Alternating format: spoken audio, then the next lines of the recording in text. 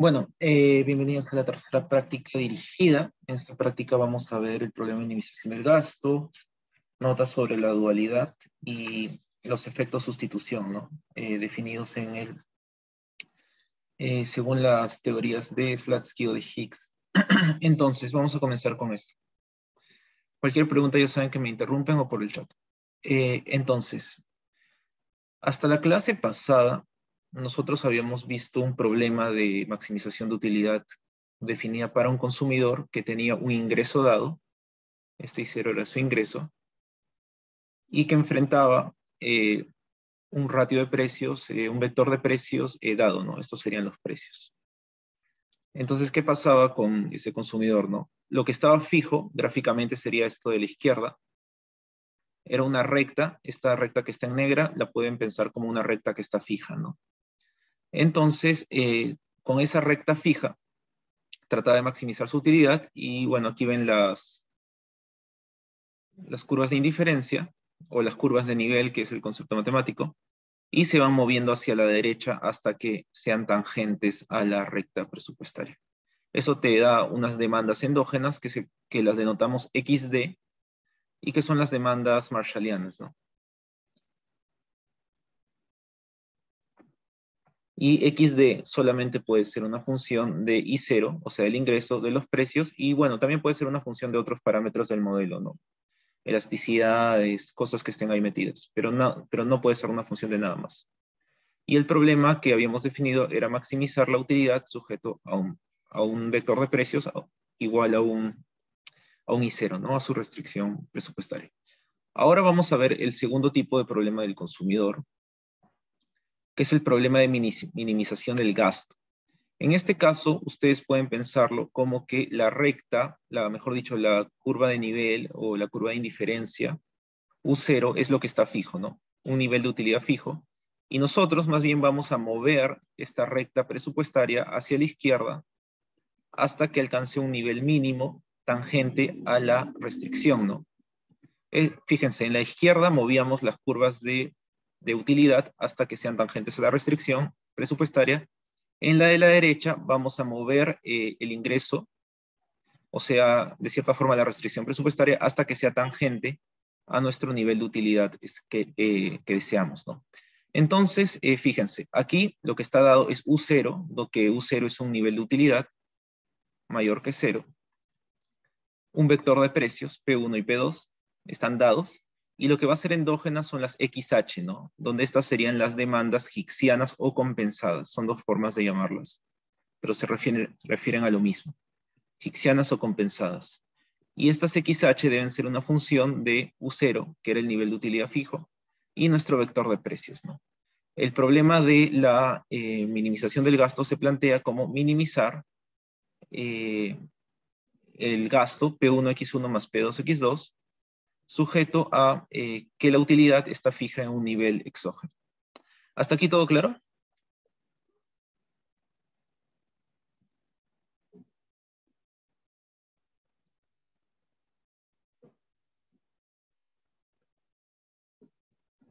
¿Está claro el gráfico?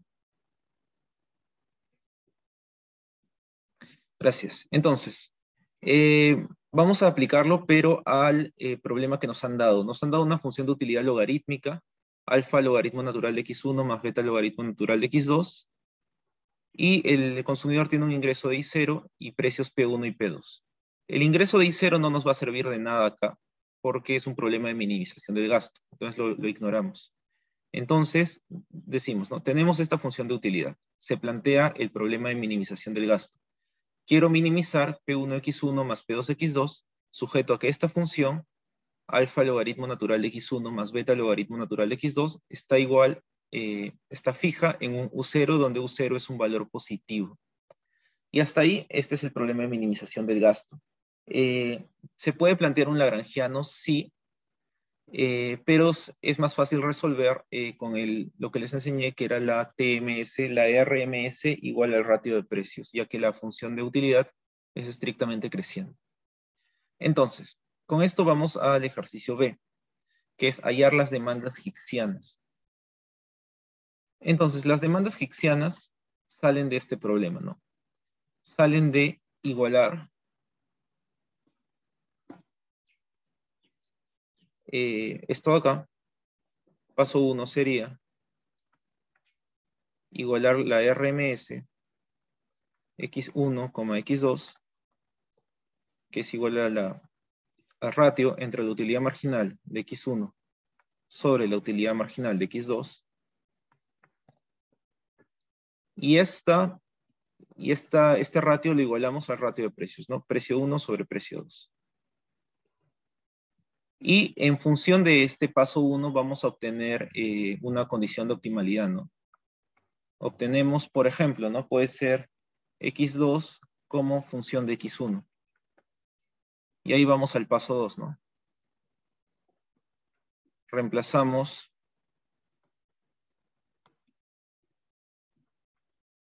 x2 como función de x1 en esta ecuación de acá y despejamos en X1. Esta es la fórmula general. Entonces vamos a ver cómo sería el caso concreto acá. La RMS, eh, ahora vamos con el paso 1. La RMS sería eh, alfa sobre X1, porque es una logarítmica, ¿no? La derivada es 1 sobre X1 sobre beta sobre x2 y esto sería igual a precio del bien 1 sobre precio 2, ¿no? Ahora lo que tengo que hacer es obtener una función de x2 en función de x1. O al revés. Pueden hacerlo en el orden que ustedes deseen. Pero despejando me saldría, a ver, x2 se va arriba, x2 alfa sobre x1 beta, igual a precio 1 sobre precio 2. Y ya me salió aquí, ¿no? Me salió x2 como beta sobre alfa, eh, precio 1 sobre precio 2, por eh, x1. Esto todavía no es una demanda, esta sería una condición de optimalidad, ¿no?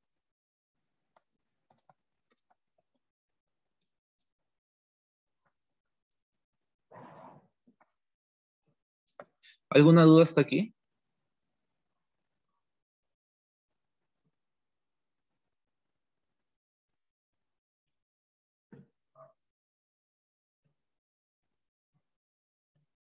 Ya. Entonces, con esto vamos a la lámina siguiente. Gracias.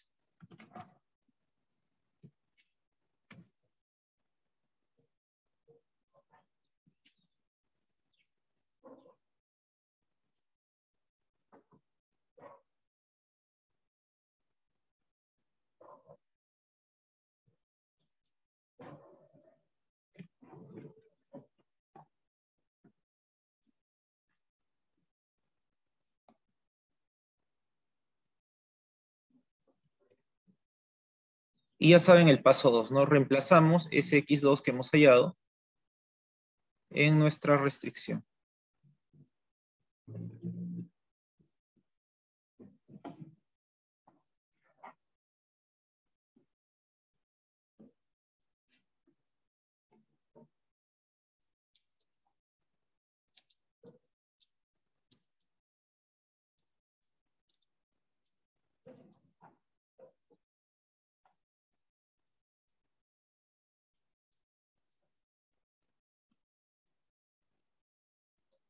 En esto acá, ¿no? Que U0 debe ser igual a alfa logaritmo natural de x1 más beta logaritmo natural de x2. Entonces ahí, fíjense, vuelvo a escribir esto.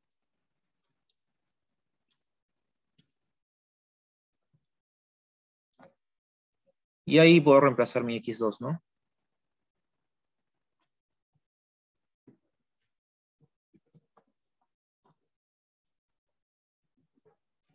Entonces, acá vamos a jugar un poco con los logaritmos. La idea sería eh, poder despejar bien X. No va a ser tan complicado, pero hay que tener cuidado de algunas cosas, ¿no? Eh, hay que recordar una propiedad, un par de propiedades de los logaritmos, ¿no?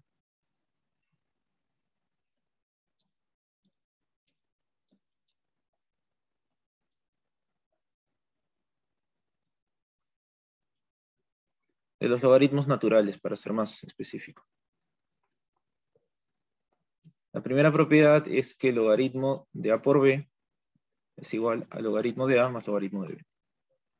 Segunda propiedad, logaritmo de A entre B es igual al logaritmo de A más logaritmo de B.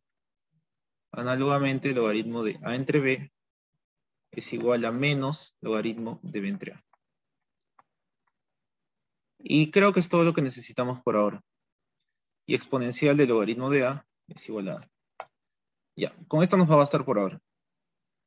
Entonces, eh, vamos a manipular esta ecuación para poder ver cómo la despejamos. ¿no? Entonces vamos a tener lo siguiente.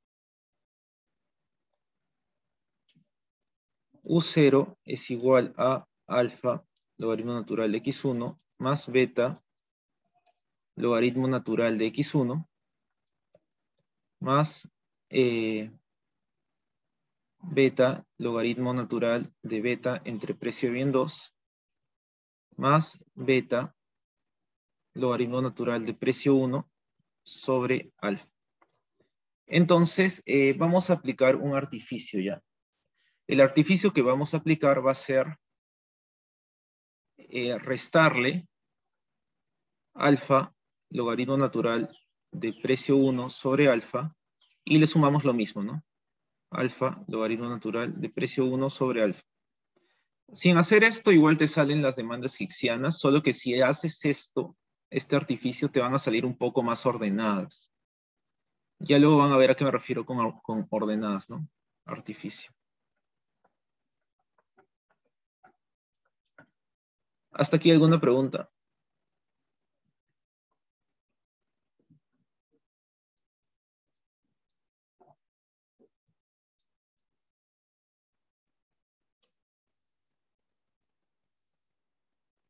Gracias. Gracias, gracias a los que están confirmando. Entonces, fíjense, aquí he sumado esto. Y acá voy a sumar. Eh, espérense un rato, hay algo que no me está cuadrando. Ah, ya esto es con menos.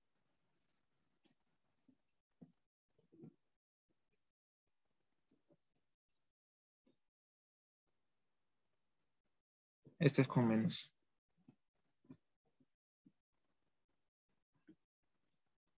Claro, porque es beta, logaritmo natural de beta sobre P2. No, espérate, es con más. Hay algo que no me está cuadrando. Un minuto, déjame verificarlo.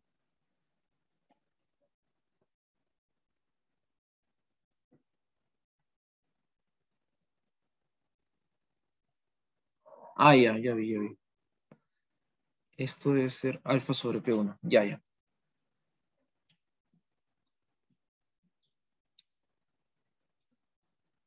Ya vi que, no, es lo que no me cuadraba. Ya, está bien. Esa línea está bien. No, no hay que hacerle ninguna corrección. Entonces, vamos a mantener esto así, más beta, logaritmo natural de beta sobre P2. Y estas de acá, estas tres, las vamos a invertir. Entonces, ¿a qué me refiero con invertir? Si es beta, logaritmo natural de P1 sobre alfa va a ser menos beta, logaritmo natural de alfa sobre P1, ¿no?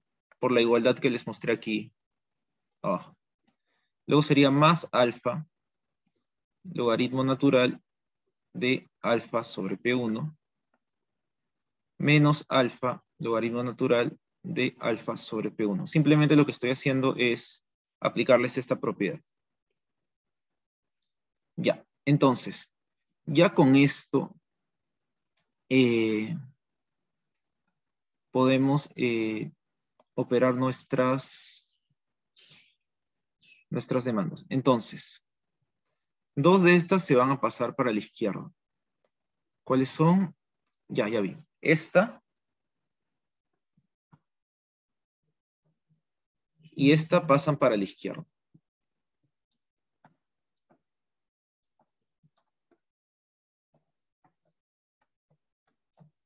Y estas dos de acá las vamos a juntar.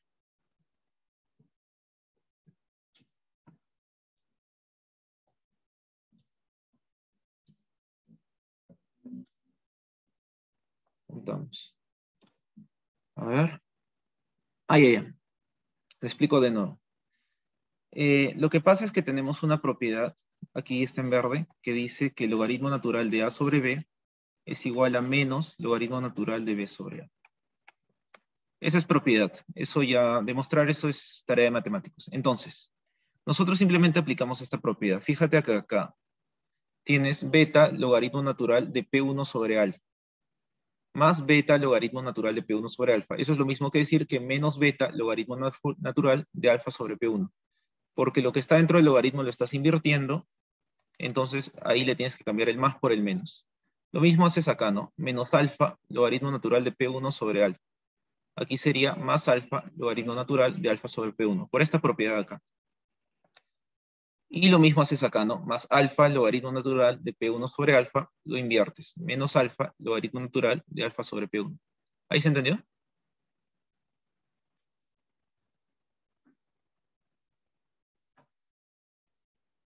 Ya, gracias. Entonces, sigamos.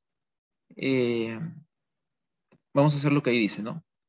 Pasamos a la izquierda de esos dos, de ahí, tendríamos U0 más beta, logaritmo natural de alfa sobre P1, más alfa,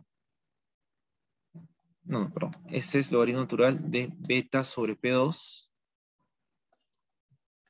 más alfa, logaritmo natural de alfa sobre P1. Y esto va con menos, ¿no? Ya.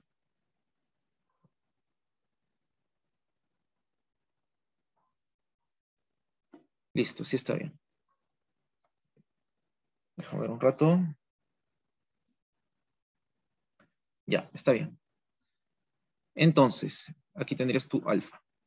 Y esto debe ser igual a alfa más beta, logaritmo natural de x1, más, o mejor dicho, menos, alfa más beta, logaritmo natural de alfa sobre P1.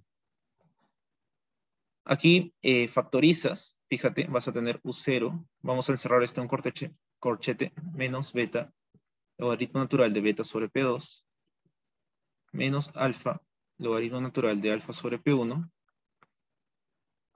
igual a alfa más beta, logaritmo natural de x1, y aquí vas a invertirlo, ¿no? Más logaritmo natural de P1 sobre alfa. Otra vez aplicamos la propiedad de la inversión.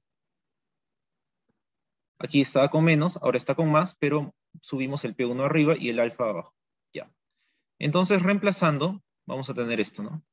Logaritmo natural de x1 más logaritmo natural de P1 sobre alfa va a ser igual a U0 menos beta, logaritmo natural de beta sobre P2, menos alfa, logaritmo natural de alfa sobre P1. Todo esto dividido entre alfa más beta y cierras corchete. Ahora, aplicando esta propiedad, logaritmo natural de A, hay una subpropiedad que diríamos que el Euler elevado al logaritmo natural de A más logaritmo natural de B va a ser igual a A por B. Entonces, aplicando esa propiedad, ¿qué tendríamos? Si aplicamos aquí exponencial,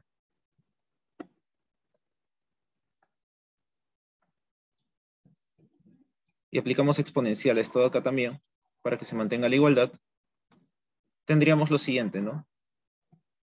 x1 por p sobre alfa va a ser igual a exponencial de todo esto acá.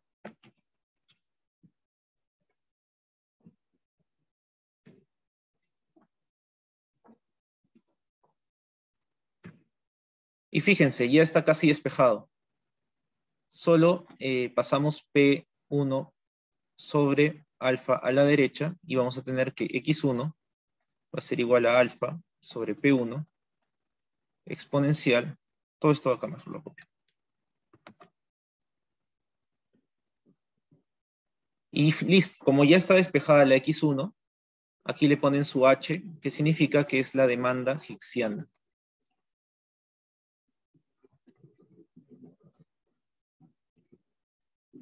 Del bien 1. ¿Alguna pregunta hasta acá? ¿Se ha entendido? Sé que es un poco laberintoso, pero eh, si quieren podemos volver a, a repasarlo.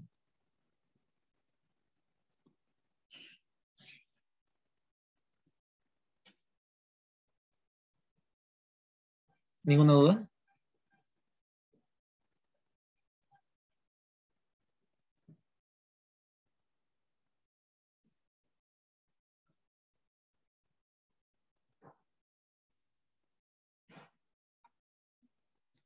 Ya, listo. Entonces, eh, la división dentro de un logaritmo, logaritmo natural de A entre B es la resta. Sí, eso es cierto.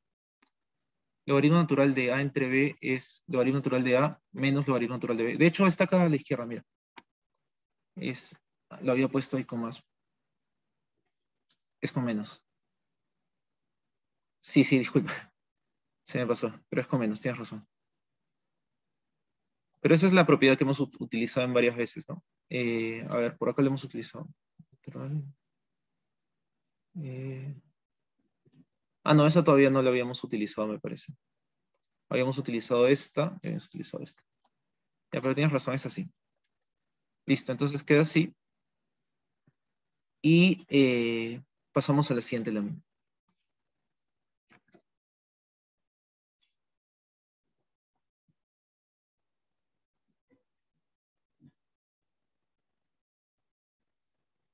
Entonces,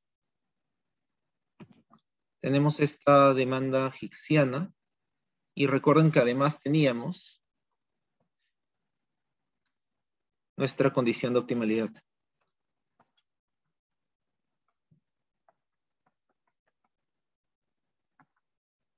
que nos daba x2, que era igual beta sobre alfa, precio 1 sobre precio 2, por x1, ¿verdad? Entonces, utilizando esa igualdad, puedo despejar la demanda higsiana de mi, eh, de mi bien 2. Despejamos.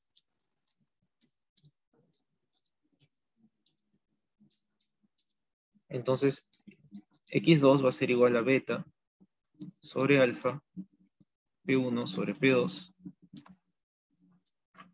por esto, ¿no?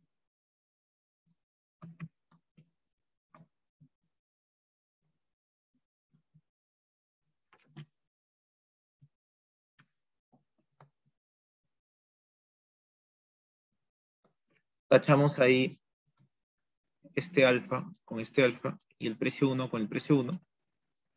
Y voy a tener al final que x2, h, porque ya sería la demanda egipciana, sería, sería igual a beta sobre P2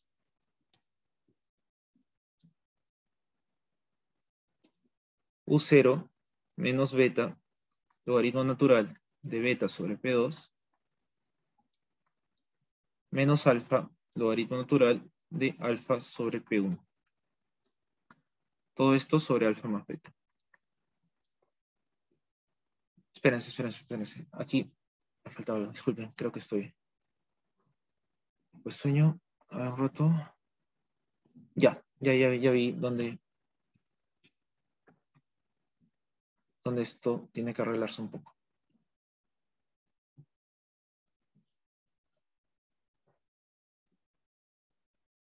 Ya.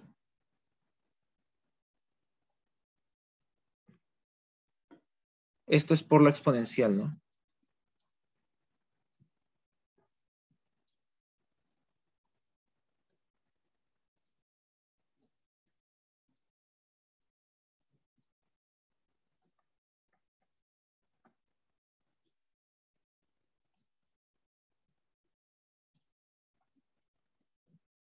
Y acá arriba también sería por la exponencial. Déjeme copiarlo.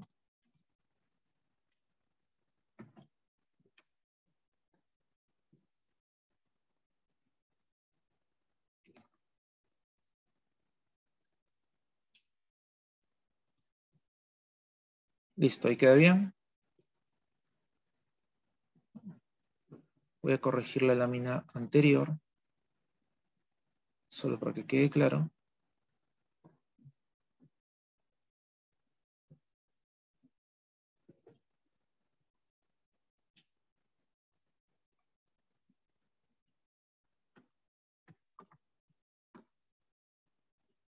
Solo borramos esto acá. Y le copiamos esto con exponencial.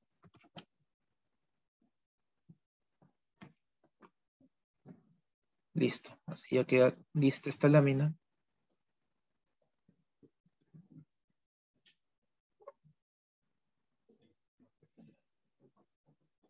Ya, y así ya queda bien. Tu x2 de h sería igual a beta sobre precio 2 por exponencial de u0 menos beta, logaritmo natural de beta sobre precio 2, menos alfa, logaritmo natural de alfa sobre precio 1. Todo esto sobre alfa más beta. Listo, perfecto.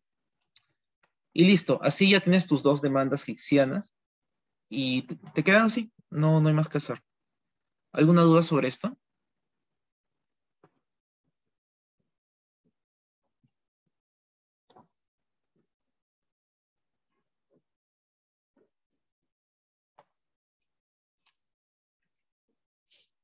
Ya, gracias. Entonces, vamos a la C, que hice la función de mínimo gasto. Entonces, la función de gasto en su forma general es un E que es igual a P1, X1 más P2, X2, ¿no? Esta E viene del inglés, que es expenditure. Y X1 y X2 simplemente son lo que sea que se demande.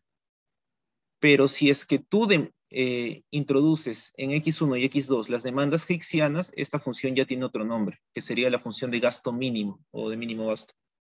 Entonces, tú le pones acá E, argumentos U0, precio 1 y precio 2, ya indica que es una función de mínimo gasto, porque tiene un U0 acá, y sería precio 1 por tu demanda hicksiana del bien 1, ¿no? Que era hasta acá que era eh, P1 por la demanda hessiana, alfa sobre P1, por la exponencial, esto acá, ¿no?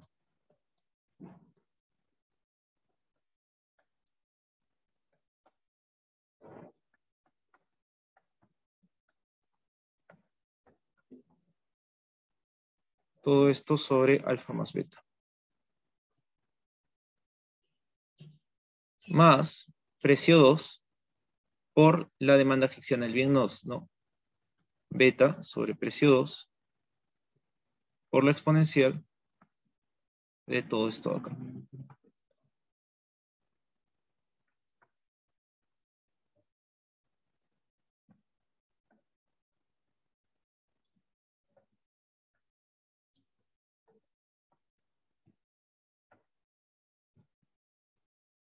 Entonces, fíjense que acá puedo eliminar eh, los precios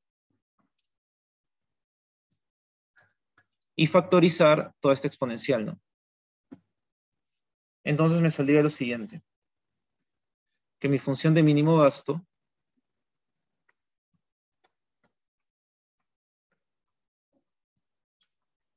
va a ser igual a alfa más beta por exponencial acá alfa más beta, U0 menos beta, logaritmo natural de beta sobre P2, menos alfa, logaritmo natural de alfa sobre P1. Y esta sería mi función de mínimo gasto. Eh, ¿Alguna duda hasta aquí?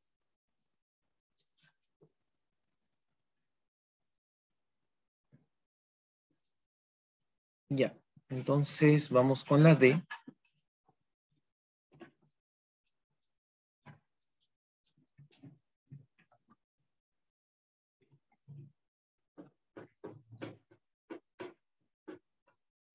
Y esta pregunta es teórica. ¿A qué valor debe igualarse esta función teniendo en cuenta que en la práctica este consumidor maximiza su utilidad sujeto a una restricción presupuestaria? Entonces, fíjense, si tú planteas el problema de maximización de la utilidad, maximizar logaritmo natural de x1 más beta logaritmo natural de x2, sujeto a I0 igual a P1X1 más P2X2, tú lo que vas a obtener son demandas marshallianas, ¿no? X1 de D y X2 de D, que en este caso tienen la siguiente forma, ¿no?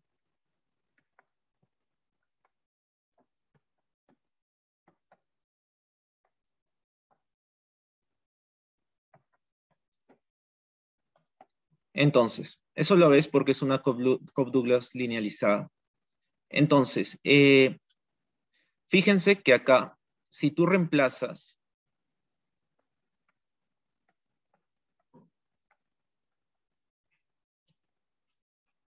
alfa logaritmo natural de x1 y pones acá la demanda marshalliana más beta logaritmo natural de x2 y pones aquí la demanda marshalliana, esto te debe dar igual a tu función de utilidad indirecta evaluada en I0 en precio 1 y precio 2, ¿no?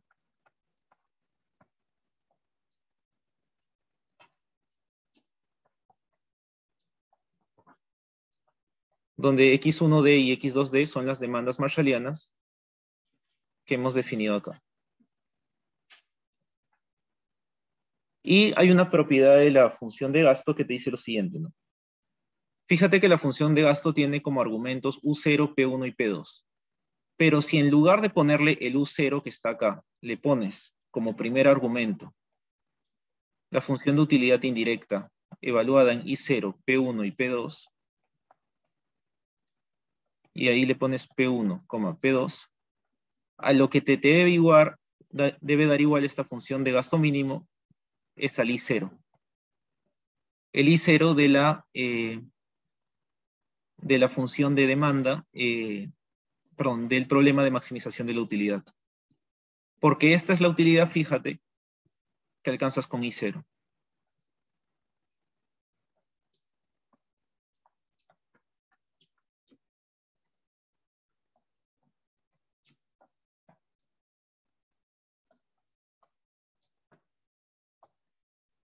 Si esta es la utilidad que alcanzas con I0, maximizando tu utilidad sujeto eh, a los precios, y tú evalúas ese nivel de utilidad con los mismos precios, P1 y P2 están constantes ahí, son los mismos precios, lo que te va a dar tu función de gasto es que gastaste I0, ¿no? Es un poco como que volver a darle la vuelta. ¿Se entiende esta idea?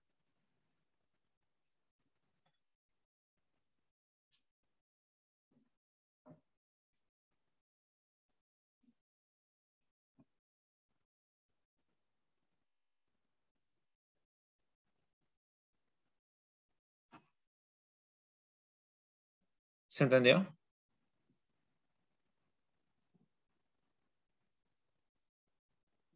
Ya, gracias. Ya, si no, al final hacemos un repaso. Vamos a ver que estén quedando bien las láminas. Ya, todo bien. Entonces, Vamos con la siguiente eh, lámina y con el siguiente ejercicio. Ahora vamos a ver este problema de acá, pero a más detalle, ¿no? En realidad, si es que tú resuelves el problema de maximización de la utilidad, indirectamente también estás resolviendo el problema de minimización del gasto. Por eso se dice que hay una dualidad, ¿no? Porque en realidad es lo mismo. Entonces vamos a partir de esto acá, esta función de utilidad, y fíjense que vamos a terminar hallando las demandas hixianas. Pero vamos a hacerlo eh, dándonos toda la vuelta para que ustedes puedan ver que en realidad es la misma cosa. Entonces, fíjense.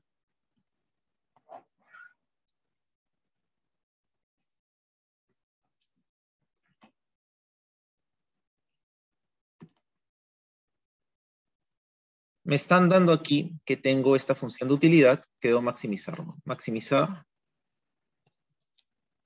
u de x1, x2, que es igual a x1 menos gamma 1 al alfa 1, por x2 menos gamma 2 al alfa 2, donde me están dando un par de datos. El primer dato que me están dando es alfa 1 más alfa 2 igual a 1. Y el segundo dato que me están dando es que gamma 1 es mayor que 0 y que gamma 2 es mayor que 0. ¿Qué significa que sean mayores que 0? Significa que hay un coeficiente de consumo mínimo, ¿no? Este es el consumo mínimo que el consumidor debe obtener para no estar en valores negativos de la utilidad. Lo que quiere decir que va a preferir eh, cubrir sus consumos antes de elevar cualquier eh, consumo del otro bien. Primero debe cumplir con cuotas mínimas, luego recién eh, puede de cierta forma optimizar normalmente. En este caso vamos a asumir que siempre puede cubrir.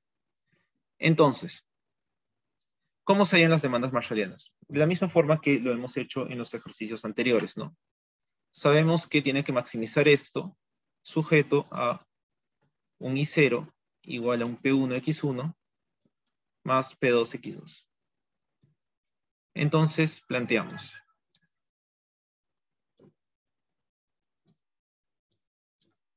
Planteamos que la relación marginal de sustitución x1, x2 debe ser igual a el ratio de precios, ¿no? Y eso es igual a la tasa marginal de sustitución, o sea, utilidad marginal de x1, sobre utilidad marginal de x2. Entonces, ¿qué es lo que hacemos acá? La utilidad marginal de x1, fíjense, sería alfa x1 menos gamma 1, alfa 1 menos 1, acá sería alfa 1, por la derivada de lo que está dentro, ¿no? Que sería 1. Por x2 menos gamma 2 a la alfa 2. Y abajo sería la utilidad marginal de x2, ¿no? Aquí estaría x1 menos gamma 1, eh, alfa 1, y de ahí sería la derivada de esto acá, ¿no? Sería alfa 2, alfa 2 baja, por x2 menos gamma 2 a la alfa 2 menos 1 por la derivada de lo que está dentro, ¿no? Que sería 1. Y esto sería igual a precio 1 sobre precio 2. Entonces, simplificamos donde podamos. Los unos no cuentan, como que no están ahí. Lo que vamos a hacer es bajar a x1 y subir a x2. Entonces, aplicando eso, vamos a tener alfa 1 sobre alfa 2 es igual a x2 menos gamma 2 sobre x1 menos gamma 1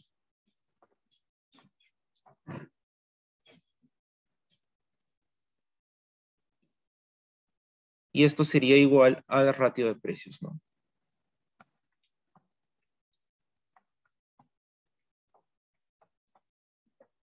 Entonces,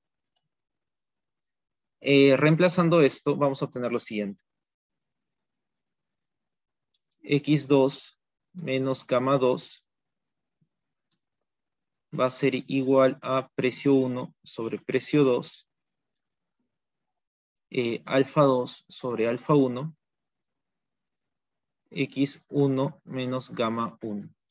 Esto parece un alfa, es un gamma. ¿Alguna duda hasta aquí?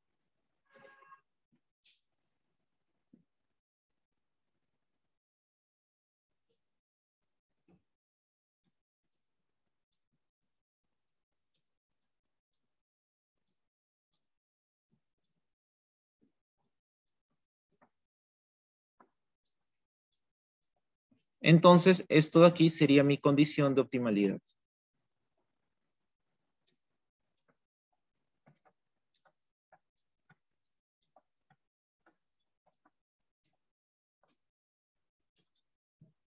Entonces, ¿qué hacemos acá? Una vez que ya tenemos la condición de optimalidad, vamos al segundo paso, ¿no? Reemplazamos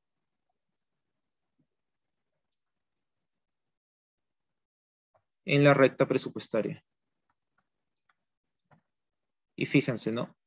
Ahí vamos a tener P1, X1, más P2, y en lugar de poner X2 acá, voy a poner acá toda la condición de optimalidad.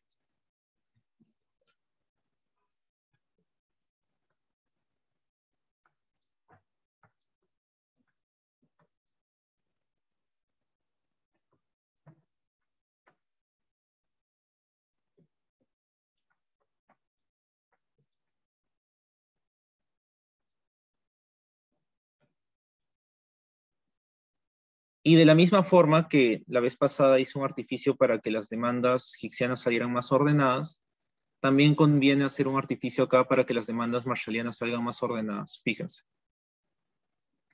P1X1 más P2 gamma 2 más P2 por precio de 1 sobre precio de 2, alfa 2 sobre alfa 1, x1 menos gamma 1, y ahí voy a aplicar mi artificio.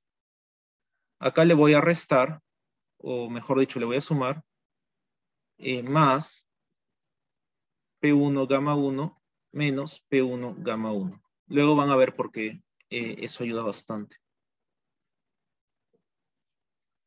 Y esto te daría igual a un I0.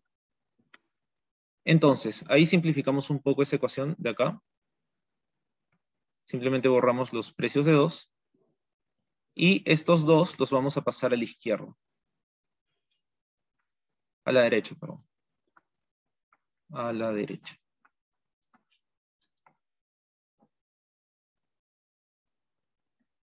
Y aquí tendríamos precio 1 de X1 más precio 1 de alfa 2 sobre alfa 1 x1 más, o mejor dicho, menos precio 1 de alfa 2 sobre alfa 1 gamma 1 menos precio 1 de gamma 1 y a la derecha tendríamos I0 menos P1 gamma 1 menos P2 gamma 2. Fíjense que así es bastante conveniente porque lo que tenemos aquí ahora a la derecha es el ingreso disponible después del consumo de subsistencia, ¿no? Del consumo mínimo. Si es que tú al ingreso le restas el gamma 1 y el gamma 2 en valores monetarios, o sea, P1 por gamma 1 y P2 por gamma 2, lo que te queda es lo que el consumidor tiene después de mantener sus niveles de subsistencia. Entonces, ya sí está un poquito más ordenado. Vamos a ver cómo lo eh, ordenamos un poquito más. Vamos a juntar estos dos. Vamos a tener P1, X1, 1 más alfa 2 sobre alfa 1. Y acá también vamos a juntarlo, ¿no? Menos P1 gamma 1 1 más alfa 2 sobre alfa 1. Y esto va a ser igual a I0 menos P1 gamma 1 menos P2 gamma 2. De esta forma, eh, podemos eh, simplificarlo un poco más, ¿no? Podemos factorizar esto más. Vamos a tener, fíjense, el 1 más alfa 2 alfa 1 lo vamos a convertir en alfa 1 más alfa 2 sobre alfa 1, ¿no? Es lo mismo. Y esto sería P1X1 menos P1 gamma 1 igual a I0 menos P1 gamma 1 menos P2 gamma 2. ¿Hasta aquí alguna duda?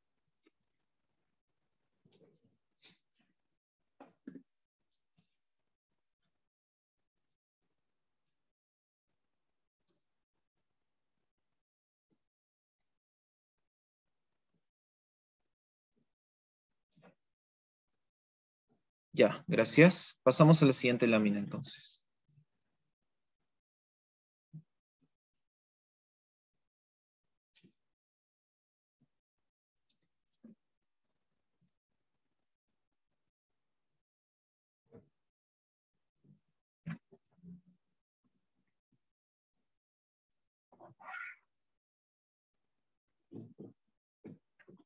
A esto lo encerramos entre paréntesis. Y fíjense que ya estaba bastante bien expresado. Utilizamos una propiedad que me habían dado, un dato,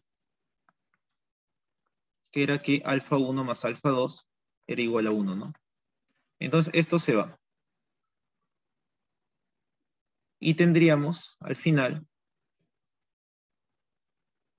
que P1, X1 menos gamma 1 va a ser igual a alfa y 0 menos P1 gamma 1 menos P2 gamma 2 Y simplificando un poco esto, ya tenemos la demanda marshalliana, ¿no? X1 de D es igual a alfa sobre P1. Un poco más bonito expresarlo así, ¿no? Gamma 1 más alfa 1 sobre P1 por esto acá.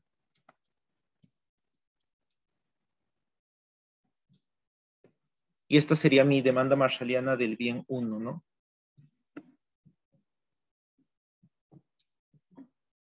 Reemplazamos en la condición de optimalidad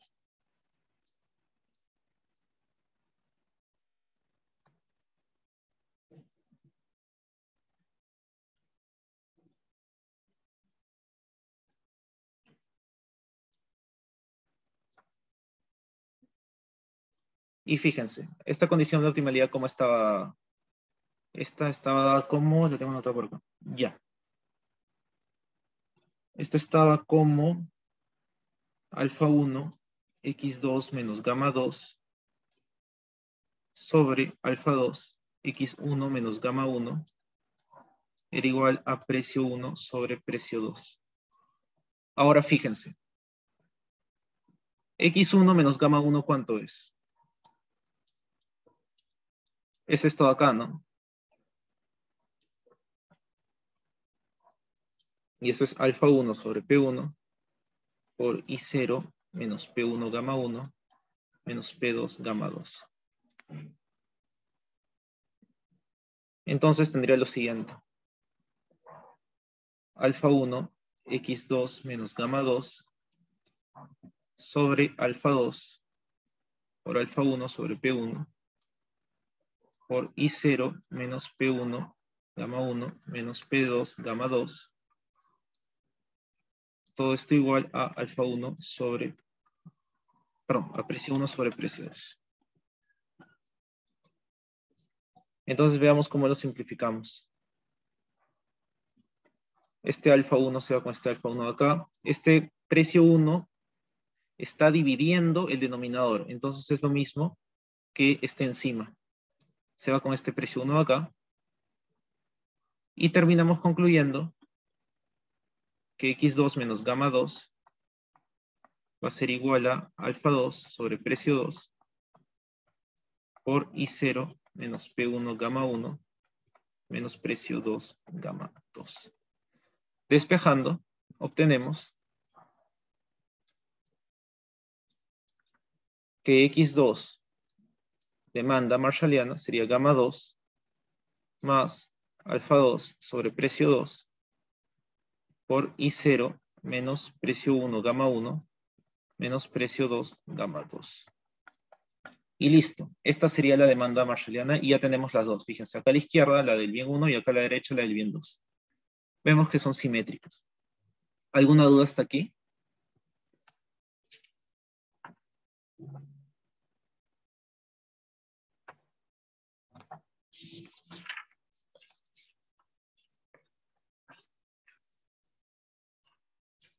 ¿Ninguna? Ya. Entonces vamos a hallar la función de utilidad indirecta.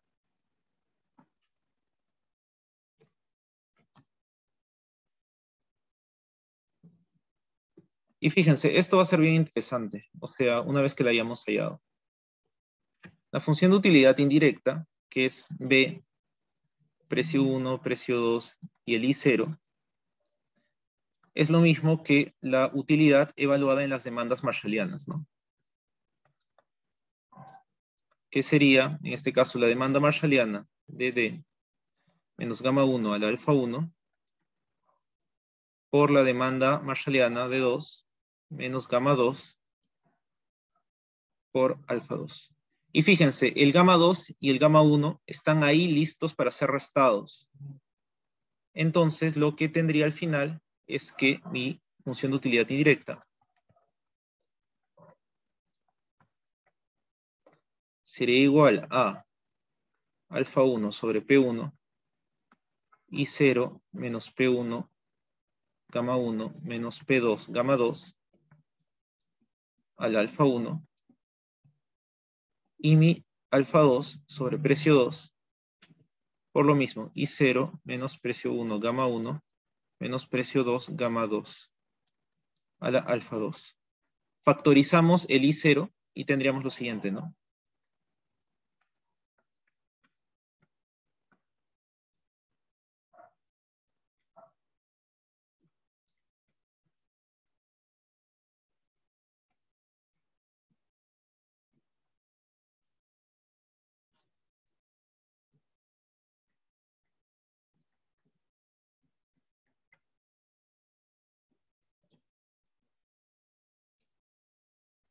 Pero como sabemos que alfa 1 más alfa 2 es igual a 1,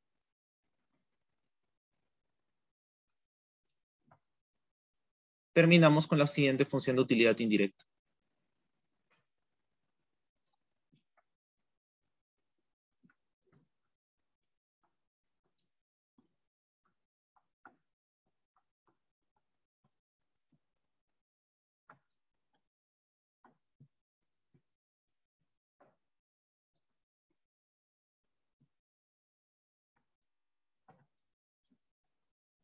¿Alguna duda hasta aquí?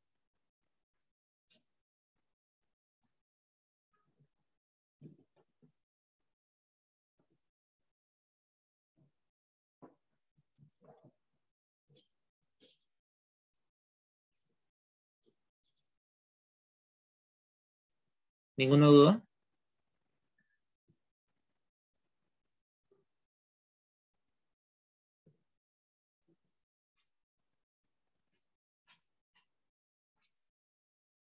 Ya. Entonces, ahora les voy a mostrar algo eh, interesante. Yo vi que esto vino en el, en el parcial del ciclo pasado, así que presten atención.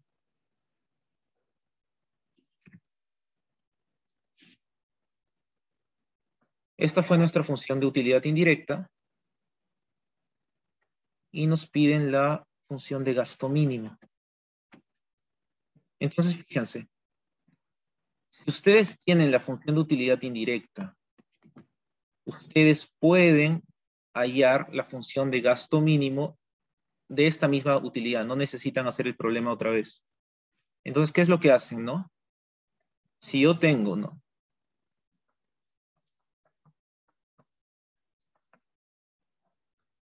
Eh, si tengo B, P1, P2, y 0, lo primero que hago es despejo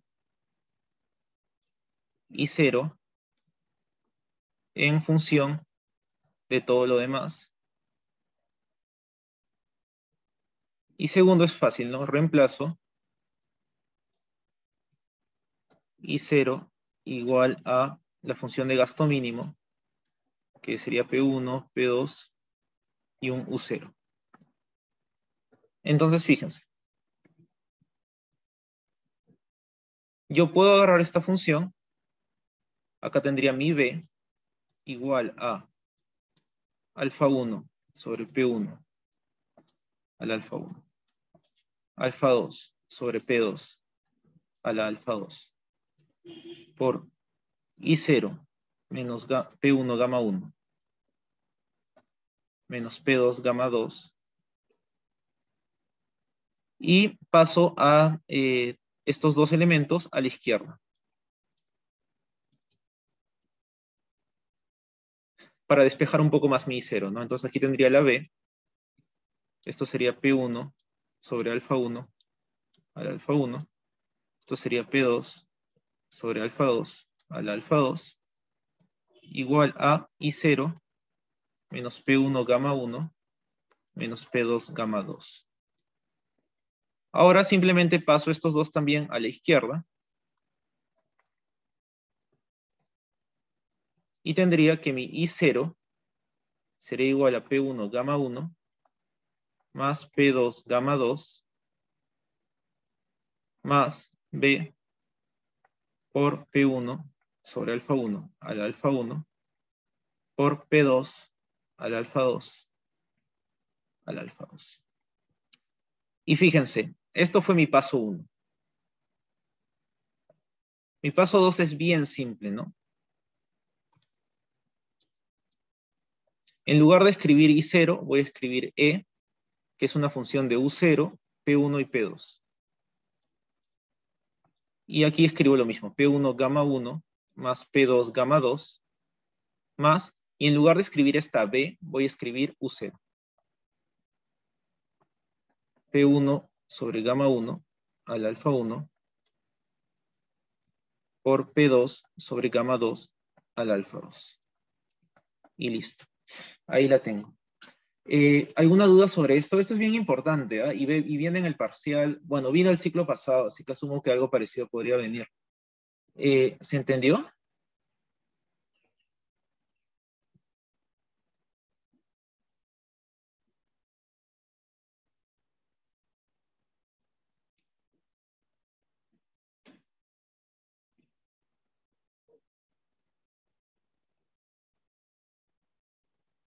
¿Está claro?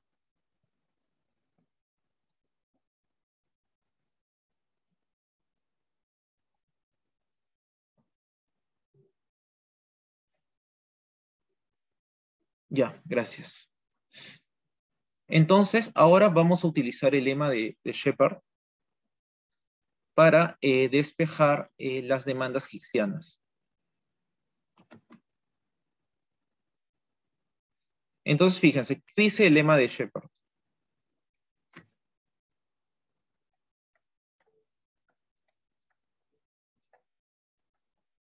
El lema de Shepard dice que si tú tienes una función de gasto mínimo que está en un vector de precios, desde precio 1 hasta precio n, que son eh, precios de distintos bienes, ¿no? Y tú tienes una función de utilidad, lo que tú puedes hacer es derivar este precio, este, este gasto, respecto a cualquiera de los precios, precio J, cualquiera de los precios, y lo que te va a salir de la derivada es tu demanda Higgsiana. Entonces, aplicando esto, ¿cómo sería? Supongamos, ¿no? Para el bien 1.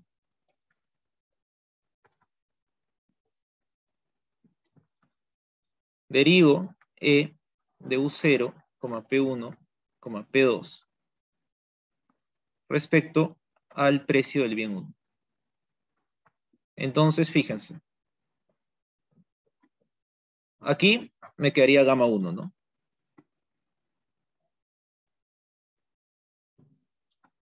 A esto le sumo más U0. Y acá tengo el precio 1 dentro de un paréntesis, ¿no? Entonces, ¿esto cómo va? Esto iría de la siguiente forma. Sería alfa 1 por eh, P1 sobre gamma 1 a la alfa 1 menos 1 por la derivada de lo que está dentro, ¿no? 1 sobre alfa 1 sobre gamma 1 por P2 sobre gamma 2 a la alfa 2. Entonces, aquí habría que ver si es que lo podemos simplificar para poder obtener eh, Ah, perdón, ahí es este alfa 1.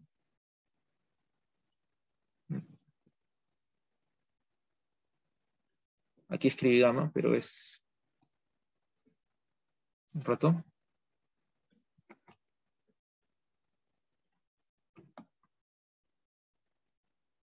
Es alfa. Ya. Entonces ahí eh,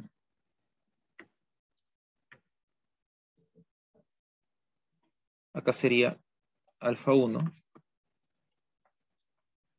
minuto, déjame borrar esto.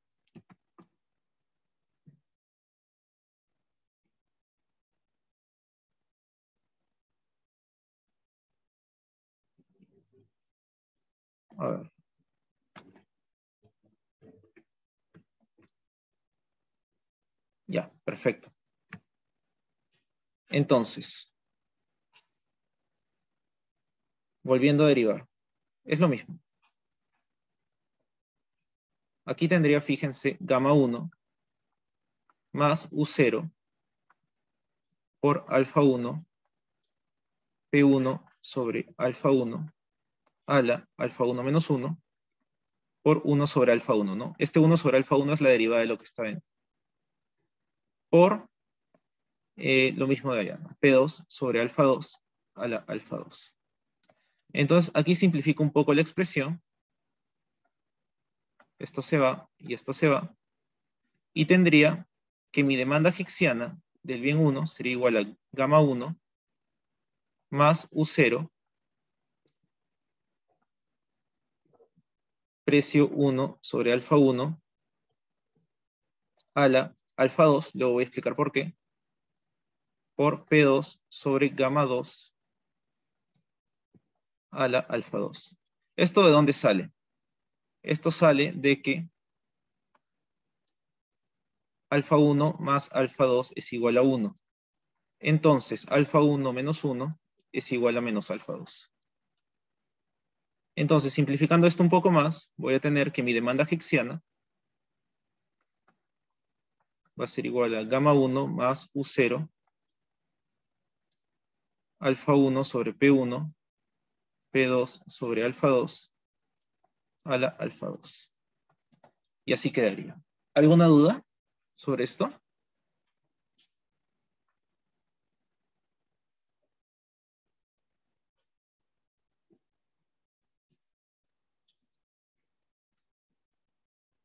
Ya.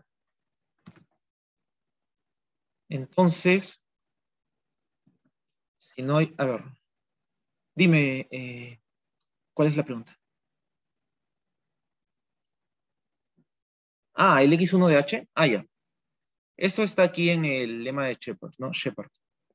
Lo que sucede es que si tú, este es, una, este es un teorema de, de la microeconomía que dice que si tú derivas tu, tu función de gasto, ¿no? tienes acá una función de gasto. Y la derivas respecto a cualquiera de los precios. En este caso solo hay dos precios, ¿no? Pero podría, si, si, la, si la función tuviera 100 precios, igual vale. Entonces, derivas de, eh, en cualquiera de los precios, lo que te va a salir es, la, es el XH, ¿no? La demanda hicksiana. Entonces aquí derivamos esta función de gasto respecto al precio bien 1. Entonces, por el lema de Shepard, esta derivada acá debe ser x1 de h, ¿no? La demanda hicksiana. Y lo que está a la derecha va a ser la forma funcional de la demanda, ¿no? Que es lo que hemos hallado. ¿Ahí se entendió?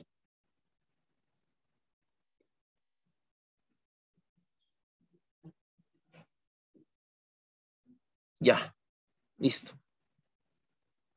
Gracias.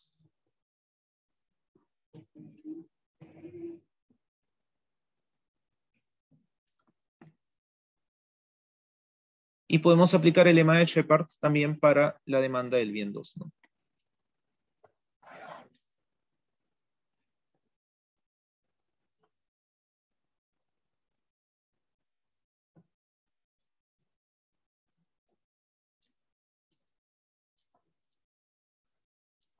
Si yo derivo E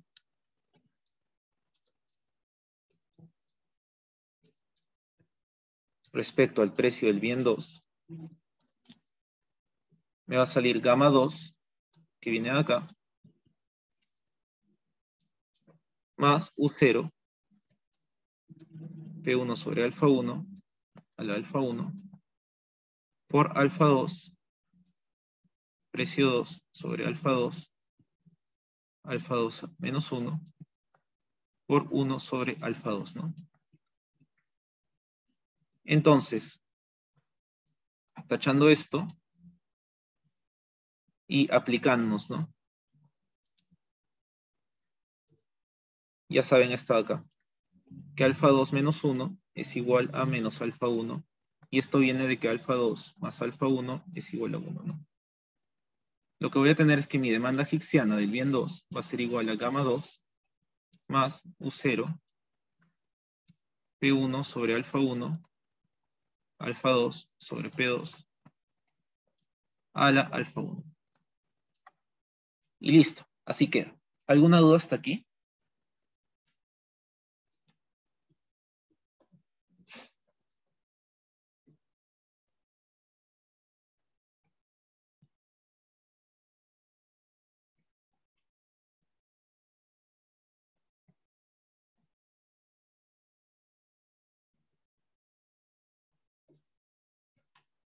Ya.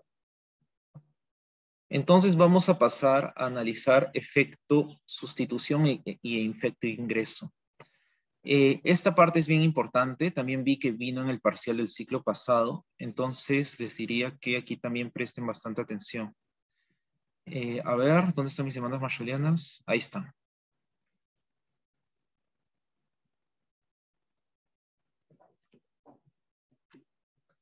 El ejercicio 3, ¿no?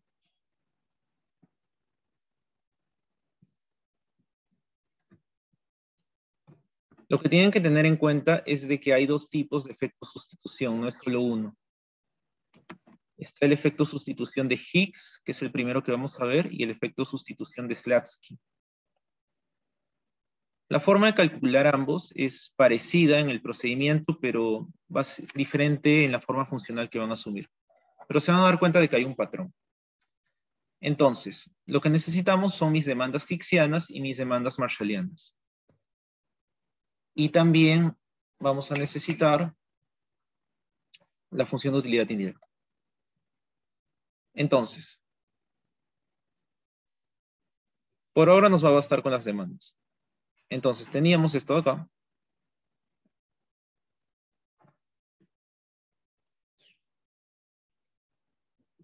Tenemos esta demanda marshalliana del bien 1.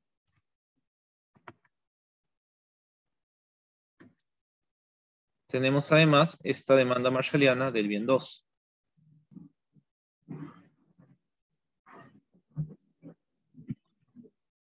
Tenemos además esta demanda egipciana del bien 1.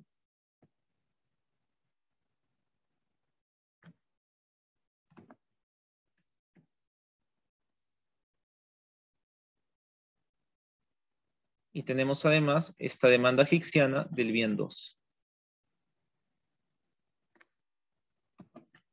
Entonces, la clave para entender esto es entender los pasos.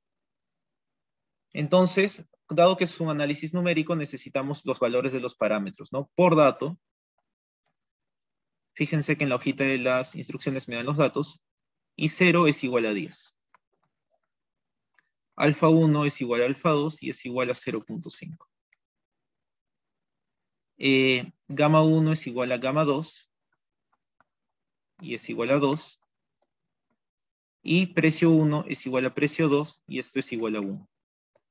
Y el ejercicio va a ser que el precio del bien 1, ahora déjame leer bien que decía acá. Ya, el precio del bien 1 prima va a ser igual a 2. O sea, va a haber una elevación del precio 1. Entonces, entiendan bien primero la, la parte matemática y ya de eso la parte gráfica va a ser mucho más intuitiva. Entonces vamos con A. Vamos a ir con Higgs. Hagamos algo. Lo que voy a escribir con rojo va a ser la forma general que se aplica a cualquier problema y lo que voy a escribir con azul va a ser la forma específica de este problema. Entonces, el primer paso, ¿cuál es? El paso 1 va a ser hallar las demandas marshallianas iniciales.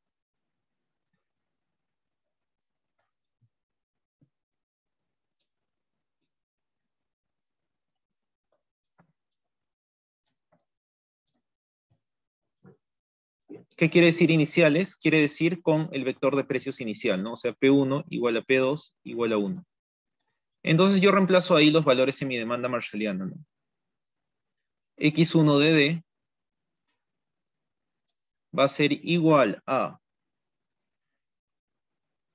gamma 1, que gamma 1 sabemos que vale 2, más alfa 1, 0.5, sobre eh, precio 1, ¿no? 1 abro paréntesis y 0 vale 10, menos 1 por gamma 2 que vale 2, menos 1 por gamma 1 que vale 2 también. En conclusión tengo 2 más 0,5 por 6, eh, ¿no? Tengo 5. De forma análoga, mi demanda marshalliana del bien 2 en el punto inicial es muy parecida, ¿no? 2 más 0,5 sobre 1 10 menos P1 por gamma 1 sería 1 por 2 menos P1 por gamma 2 sería 1 eh, por 2 también. Esto sería 2 más 0,5 por 6 igual a 5. Por si acaso eh, no se está entendiendo, aquí les pongo que esto es eh, gamas 2. Esto acá es alfa, alfa 2 sobre P2. Y esto acá es I0 menos P1 gamma 1 menos P2 gamma 2. ¿Se ha entendido esto?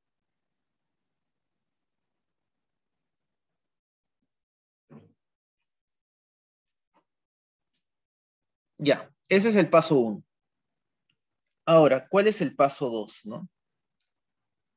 Esto es para Higgs, ¿ah? para Slatsky es otra, otra este, formulación. Entonces, el paso 2 es evaluar la función de utilidad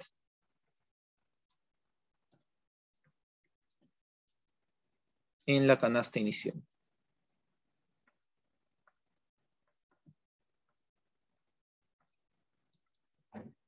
Entonces, en esta canasta inicial, eh, vemos que mi función de utilidad es lo siguiente, ¿no? U de x1, x2 es igual a x1 menos gamma 1 al alfa 1 por x2 menos gamma 2 al alfa 2. Reemplazando en sus valores, yo tengo que x1 es 5 menos gamma 1 es 2 al alfa 1 que es 0.5, ¿no? Y esto es lo mismo, 5 menos 2 al alfa 2 que es 0.5. Esto sería 3, esto sería 3 a secas, ¿no? Entonces, fíjense, aquí yo digo ya, mi U0 va a ser igual a 3. ¿Por qué es importante el U0? Dado que vamos a utilizar el enfoque de Higgs, el enfoque de Higgs obviamente tiene que ver con las demandas higsianas y con el problema de minimización del gasto, vamos a necesitar un U0. Esa es la razón por la que han estudiado el problema de minimización del gasto. Es porque este U0 lo que les va a decir es cuánto van a tener que demandar cuando cambien los precios, ¿no? ¿Se entiende esto acá?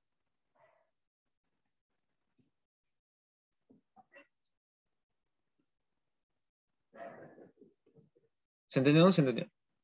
Bueno, tal vez con avanzando más el ejercicio se entiende. Entonces, el paso 3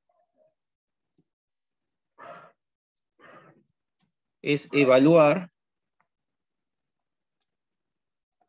las demandas higsianas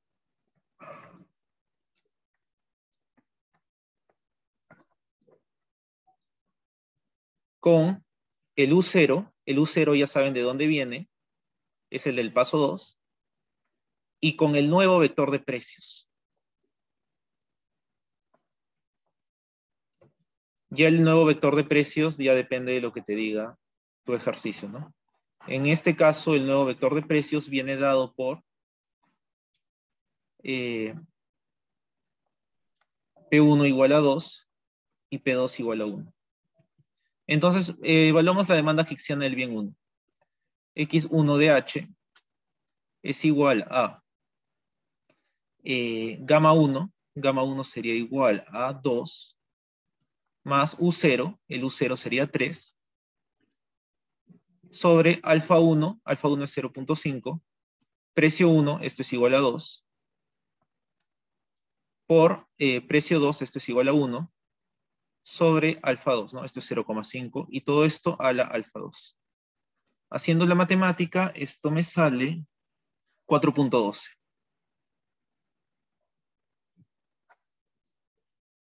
Y eh, para el bien 2, esto es 2 más U0, el U0 es 3, eh, por, eh, ¿qué me dice ahí? Precio 1, el precio 1 es 2, sobre alfa 1, 0,5, por 0,5, que es el alfa 2, sobre el precio 2, que es 1. Esto elevado a 0.5 y esto me sale 6,24. ¿Hasta aquí alguna duda? ¿Se ha entendido lo que hemos estado haciendo?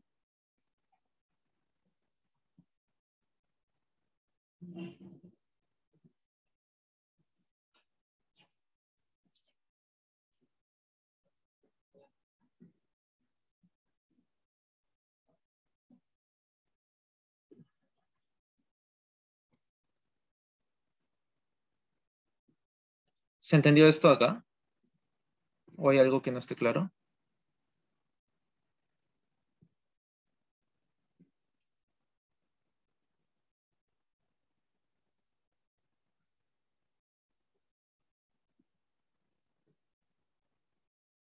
Ya, sigamos. Entonces seguimos con Higgs, ¿no?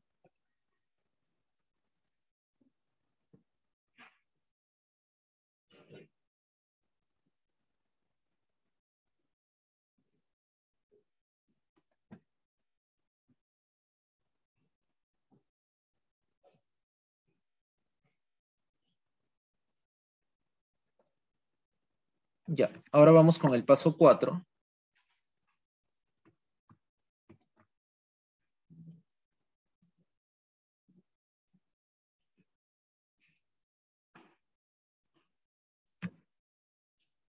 Para que se entienda un poquito más, les voy a poner aquí el esbozo de qué, eh, de qué variables son estas, ¿no? Este sería el gamma 2, esto sería el U0, esto sería el precio del bien 1 sobre eh, alfa 1 por alfa 2 sobre el precio del bien 2 sobre, en este caso sería alfa 1, ¿no? Y acá es similar, ¿no? Este es el gamma 1, este es el U0, esto acá sería el alfa 1 sobre precio de bien 1 por alfa 2 sobre precio de bien 2. No, al revés. Precio 2 sobre alfa 2. Esto por el alfa 2, ¿no? Ahí ya se entendió un poco mejor qué es lo que hicimos.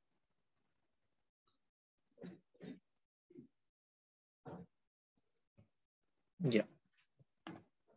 Entonces, Ahora vamos con el paso 4.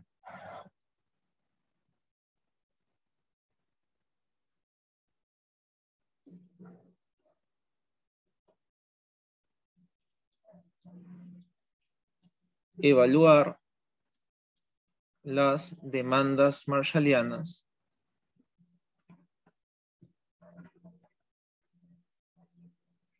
a precios finales.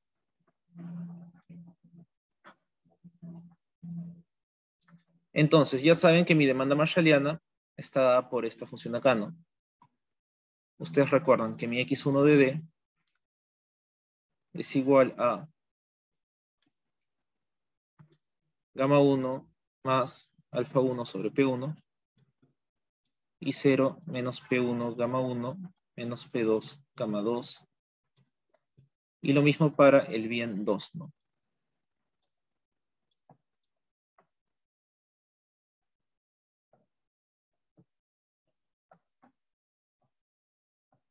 Entonces, esto lo vamos a llamar x1 de d, pero que le vamos a poner una f de final, o sea, es la final. Entonces, con los precios finales, mi precio 1 vale 2 y mi precio 2 vale 1.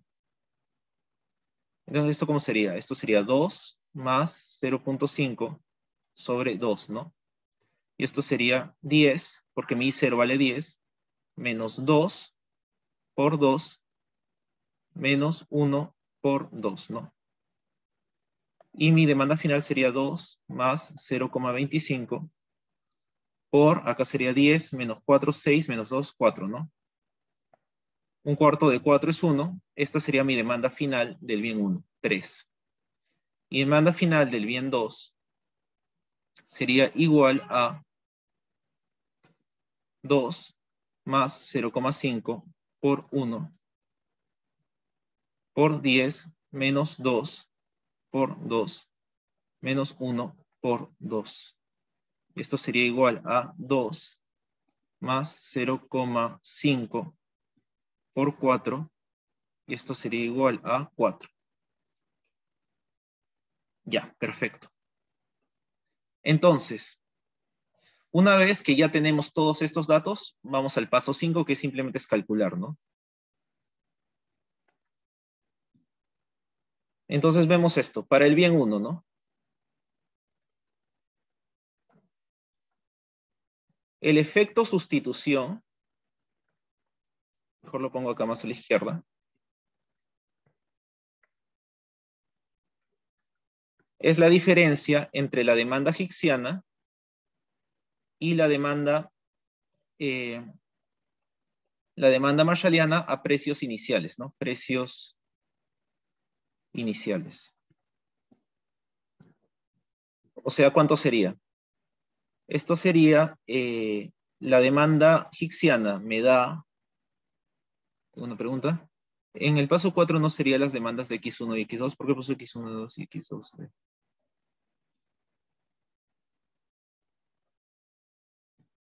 Ah, ya, ya, ya entendí.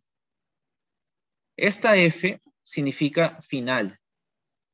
Fíjate que este X1 de D y X2 de D está denotando mi canasta inicial, ¿no? La canasta que yo compré cuando ambos precios eran 1. Y estas son las marshallianas, ¿no? Y en el paso 4, yo estoy eh, calculando las mismas funciones, las demandas marshallianas, pero con los precios finales. Por eso les pongo un F. ¿Ahí se entiende la diferencia entre ambas?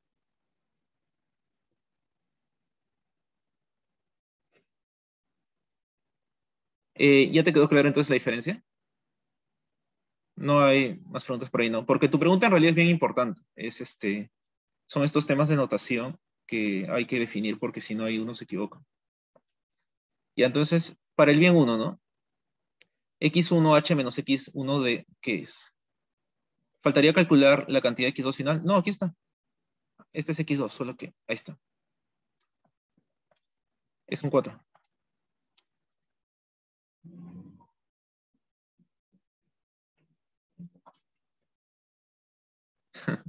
ya, listo.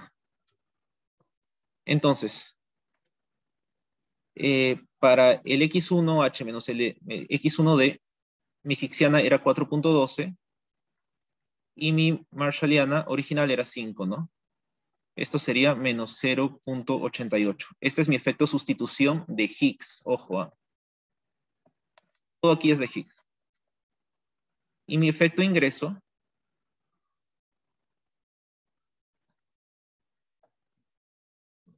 sería mi demanda marshalliana final menos la demanda hicksiana, ¿no? Recuerden que la final es a precios finales. Esto es a precios finales.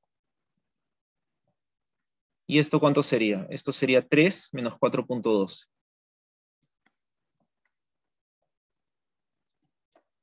Y esto sería menos 1.12. El efecto total simplemente es la suma, que en este caso sería menos 2. ¿Se entiende esto?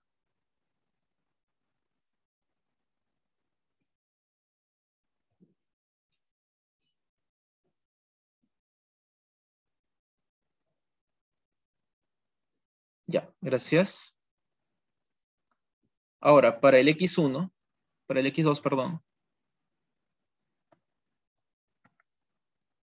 Sustitución sería la diferencia entre la hicksiana menos la ordinaria a precios iniciales. Y esto sería igual a 6,24 menos 5, o sea, más 1.24. El efecto sustitución es positivo, porque como el precio del otro bien subió, hay un efecto sustitución que beneficia al bien 2. Y el efecto ingreso sería igual al x de 2f menos el x2h, esto en precios finales, ¿no? Que sería igual a, esto sería igual a 4 menos 6.24, o sea, igual a menos 2,24. Este es tu efecto ingreso, ¿no? Y el total simplemente sería la suma, que en este caso es una resta menos 1. Y así es que descompones tu efecto sustitución y tu efecto ingreso. ¿Alguna duda hasta aquí?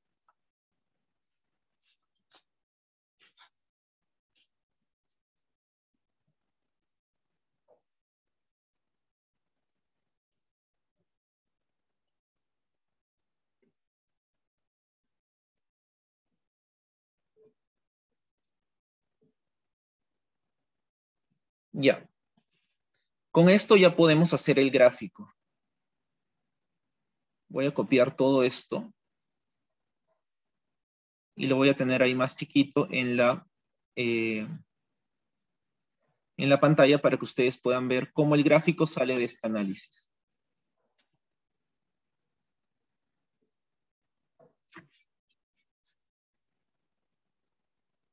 Sí se lee bien, ¿no? Esto acá.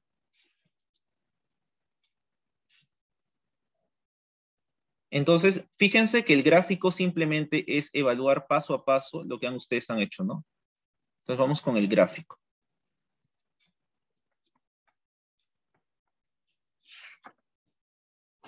Si ustedes entendieron bien estos cinco pasos, el gráfico les va a ser bien sencillo.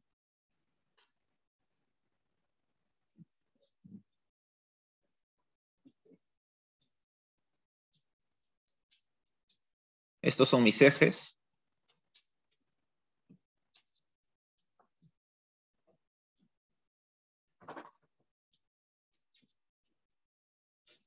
Este sería X2 y este sería X1.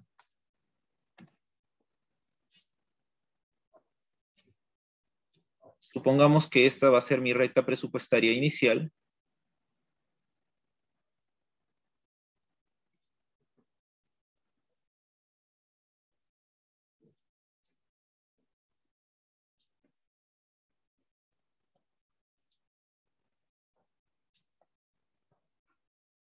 Mi recta presupuestaria inicial es 10, es igual a x1 más x2, ¿no? Porque en el punto inicial, el precio de x1 y de x2 es 1. Y a la vez yo tengo un equilibrio original, ¿no? Una canasta original que es esta de acá.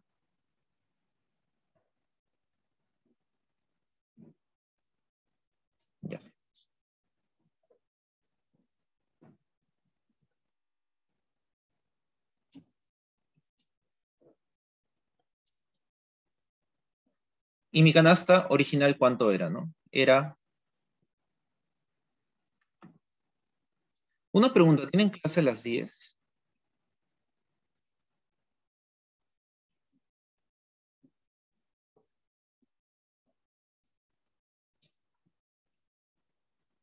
Ah, ya.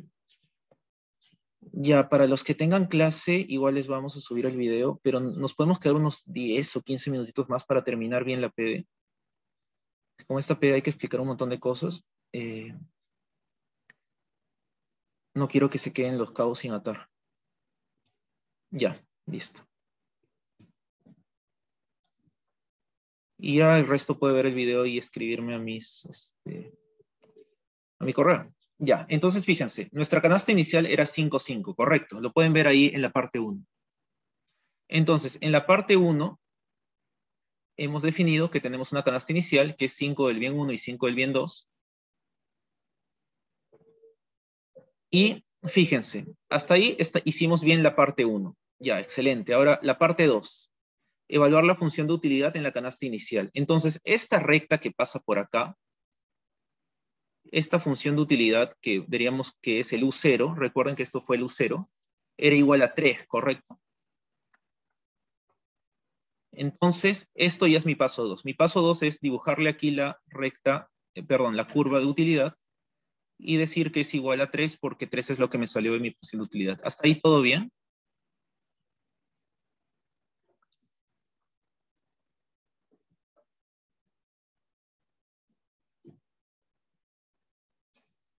Ya. Entonces, ahora vamos con el paso 3. Aquí es donde la cosa se empieza a complejizar un poco más, ¿no? Fíjense, mi recta original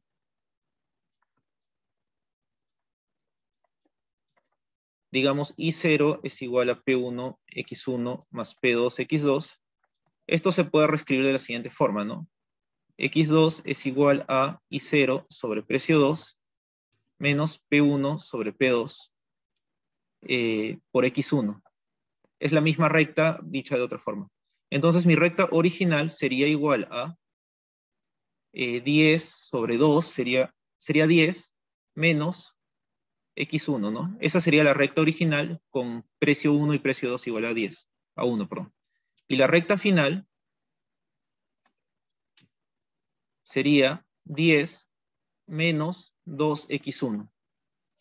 Entonces, en el caso de la recta final, la pendiente se hace más empinada. O sea, mi recta final sería algo así, por ejemplo, ¿no?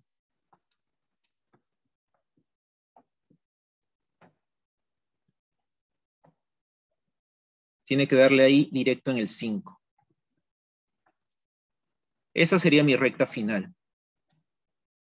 Porque fíjense que el intercepto se mantiene constante, pero la pendiente eh, se ha hecho el doble de grande. Por lo tanto, es más empinada y cae, eh, tiene un punto de corte antes, ¿no?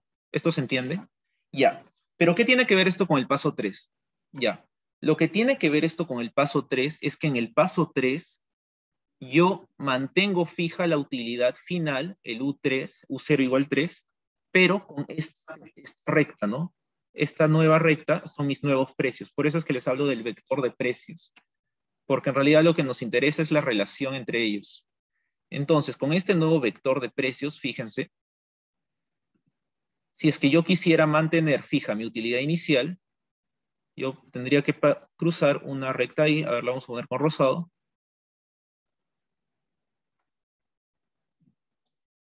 Y tendría esta canasta, por ejemplo, ¿no?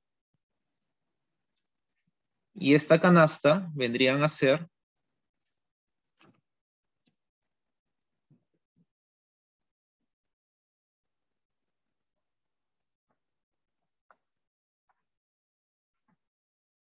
mis eh, demandas hicksianas.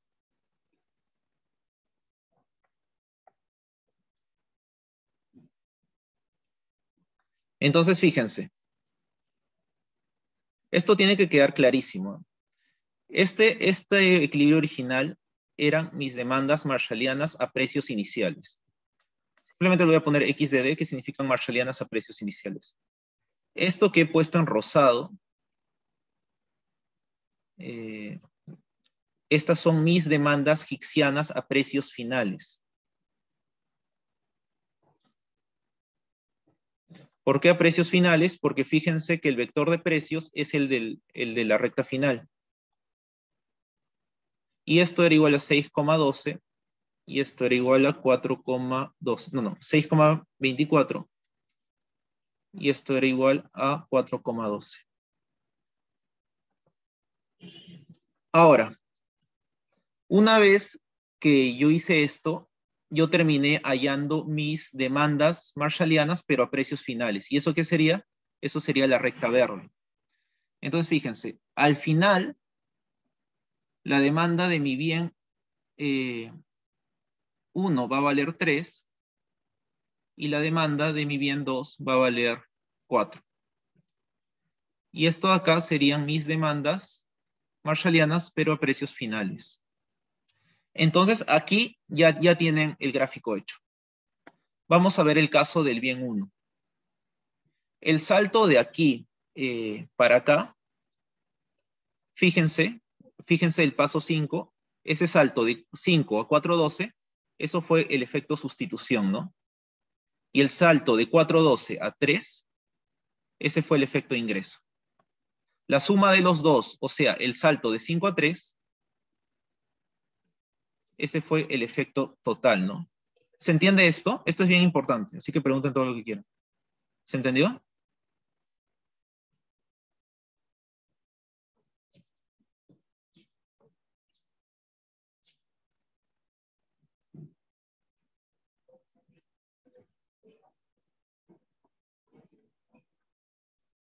¿No se entendió?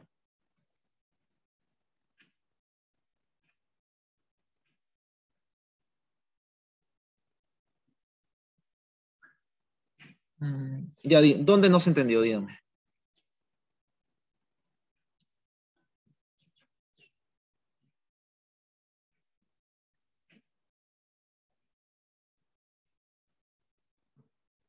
De una pista. Ah, ya, sí lo entendiste. Genial. Ya. Entonces, ahora vamos con el bien 2, ¿no? Al paso 5. El salto de 5 a 6,24 fue el efecto sustitución y de 6,24 a 4 fue el efecto ingreso, ¿no? Entonces, el salto de 5 a 4 fue tu efecto total. Y así es como se hace un gráfico de efecto eh, sustitución, ingreso y total para el caso de Higgs. ¿Se entendió? Entonces, eh, así sería. Este es el gráfico que tienen que hacer.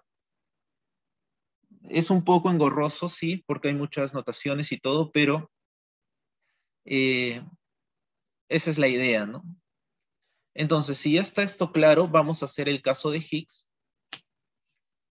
Y finalmente eh, terminamos la PD cuando ya tengamos los dos casos más eh, el caso de complementos perfectos, ¿no?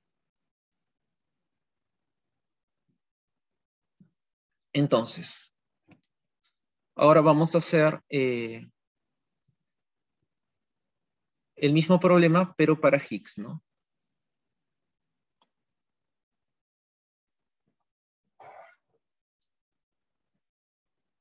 Entonces, déjeme copiar esto.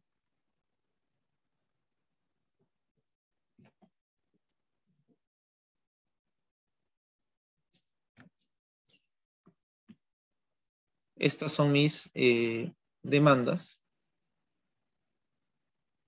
Ya. Entonces, vamos ahí con el paso 1. Creo que en todo caso lo podría copiar más eficientemente así.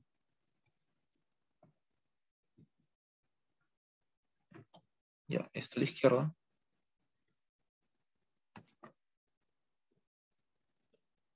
Ahí para que no estorbe mucho. Y esto a la derecha.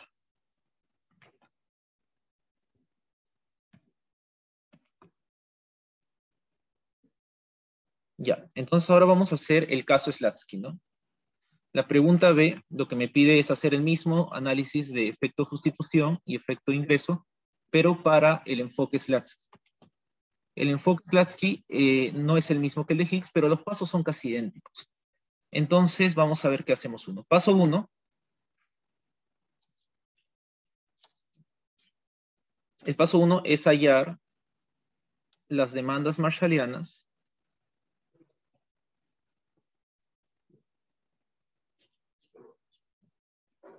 a precios iniciales. O sea, es el mismo paso que Higgs, ¿no? El mismo paso. Entonces, eso ya lo podemos copiar del ejercicio anterior, porque en el ejercicio anterior el paso 1 era idéntico. Entonces, mi demanda marshalliana para 1 era 5, y demanda marshalliana para el bien 2 era 5 también. Ahí no hay más vuelta que dar. Entonces, fíjense, el paso 2 es definir variación del ingreso igual a es la demanda marshalliana original por variación del precio. Entonces, fíjense acá. Si la variación del precio es igual a 1, ¿por qué digo que la variación del precio es igual a 1? ¿Por qué? Porque el precio original era, era 1 y el precio final era 2. ¿En cuánto varió? en 1, ¿verdad? Ya. Si la variación del precio es 1 y la variación eh, y la demanda original era 5, esto implica que para poder seguir manteniendo mi poder adquisitivo, yo tengo que incrementar mi ingreso en 5. Entonces, eh, el nuevo ingreso I0', podríamos llamarlo, va a ser igual al I0 original más este I. El I0 original era 10, este I es igual a 5, entonces mi nuevo ingreso debe ser igual a 15. ¿Alguna duda hasta aquí? ¿Esto se ha entendido? Esto es, debes mover tu ingreso, incrementarlo o reducirlo en razón de lo que ha cambiado el precio y lo que ha cambiado y lo que te estabas demandando originalmente, ¿no? Esto viene de arribita. ¿Se entendió esto aquí? ¿Esto está claro?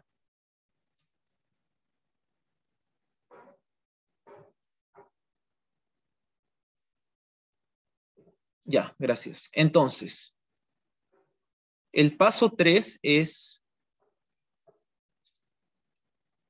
con el nuevo ingreso y los nuevos precios, en otras palabras, y los precios finales, hallar la demanda marshalliana. Lo bueno del enfoque Slatsky es que no se usan las demandas hixianas, lo que nos ahorra un poco de trabajo. Entonces, esta demanda con nuevos precios y nuevo ingreso, en la anotación de la profesora, no sé si han visto sus notas de clase, hay, una, hay un ejemplo que ella hace. Eh, le pone X1S. Esta S significa Slatsky. Ya. Para el bien 1, ¿cuánto sería? Sería 2.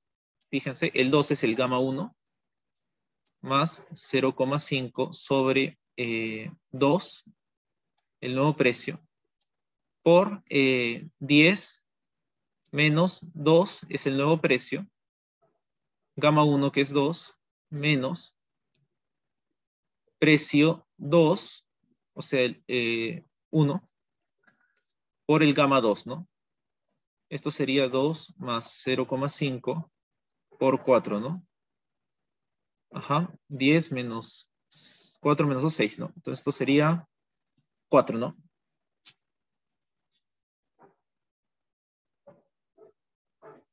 ¿O hay algo que me estoy perdiendo acá? Ah, perdón, no, no, no. un minuto, un minuto, un minuto, un minuto. Esto es 0.25.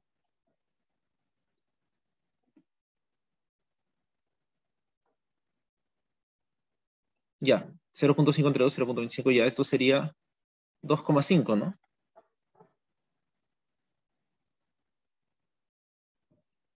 Ah, estoy volado, tiene que ser 15, tienes razón. Sí, sí, lo que dices es verdad, estaba poniendo el ingreso anterior. 15. Ya, listo, reescribamos esto. Ya, esto sería 2 más 0,25 por 15 menos 6, ¿no? 9. Entonces, eh, la demanda hixiana sería un cuarto de 9 es 2.25, esto sería 4.25. Ya, perfecto. Para la demanda Slatsky, con los nuevo ingreso, esto sería 2 más 0,5 sobre 1 por 15 menos 2 por 2 menos 1 por 2. Esto sería 2 más 0,5, 9, ¿no? La mitad de 9 es 4.5, eh, esto sería 6.5. Ya. Y finalmente el paso 3, perdón, y de ahí seguimos con el paso 4, ¿no? El paso 4 es con el ingreso inicial, que en este caso es I0, ¿no? I0 igual a 10. Y los precios finales hallar la demanda marshalliana.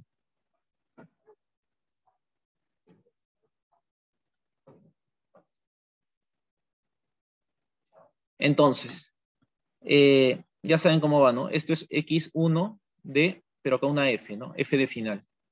Entonces, esto sería 2 más 0,5 sobre 2 por 10 menos 2, 2 Ah, sí, sí, sí. Ahí siempre se vuelve. Este es X2S, claro. Ya, perfecto. X1F sería 2 menos 1 por 2. Y esto sería 2 más 0,25 por 6, ¿no? Claro. Por 4. Esto sería igual a 3. Ah, es el mismo que la vez pasada te va a salir lo mismo. Esto sería 2 más 0,5 sobre 1 por 10 menos 2 por 2 menos 1 por 2. Esto sería igual a 2 más 0,5 por 4. Esto sería igual a 4. Entonces, una vez que ya tienen estas demandas finales, lo que van a hacer es eh, hacer su tabla, ¿no? Paso 5. Ahí hacen la tabla. Para el bien 1, el efecto ingreso es igual a eh, la X1 de S. Recuerden, esto es precios finales. menos x1 de, estos precios iniciales. Esto era igual a 4.25 menos 5, ¿no? Esto es igual a menos 0,75. Y el efecto total, efecto, no, perdón, este, este es el efecto sustitución, ya. Este es el efecto sustitución. Y el efecto ingreso sería igual a la demanda final, X1 de DF, esto es precios finales, menos X1 de S, también a precios finales. Y esto sería igual a 3 menos 4.25. O sea, menos 1,25. La suma de los dos es igual a menos 2. Ya. Entonces, para el bien 2,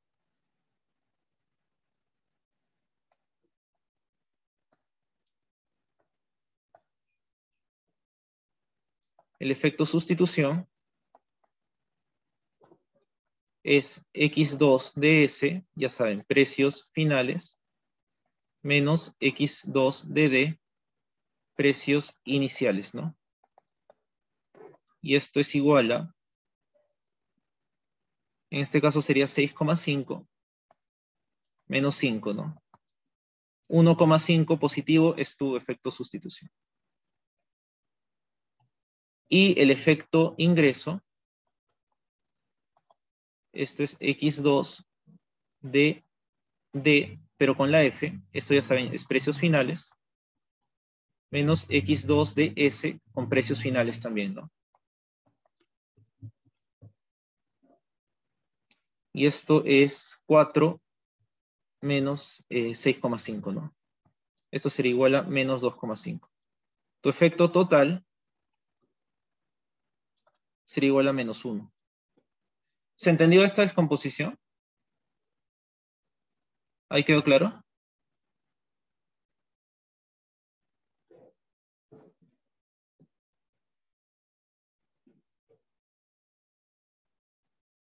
Ya, eh, dime, ¿dónde, ¿dónde te perdí? ¿Dónde este, no, no está claro?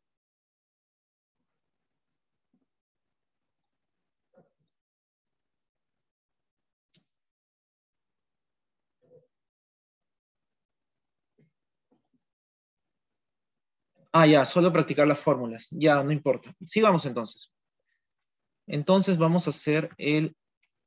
Vamos a copiar esto.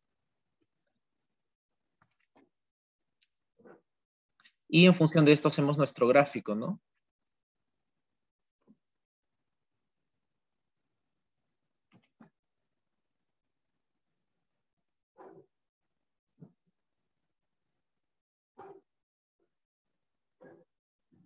Ya. Entonces, vamos a ver cómo cada paso nos lleva a hacer el gráfico.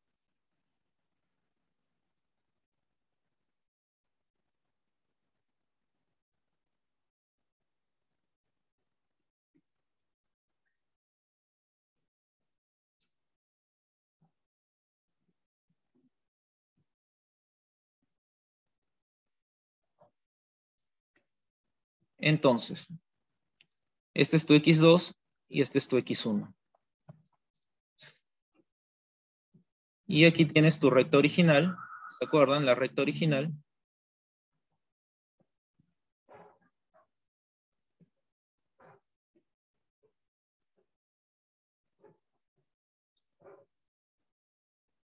Y fíjense, ¿cuál es el paso 1? El paso 1 Oh, aquí le voy a poner recta original, ¿no? Recta original es, eh, es, recuerdan, x2 es igual a i0 sobre precio 2 menos p1 sobre precio 2 por x1, ¿no? Para la recta original, esto sería que x2 es igual a, eh, ¿cómo sería?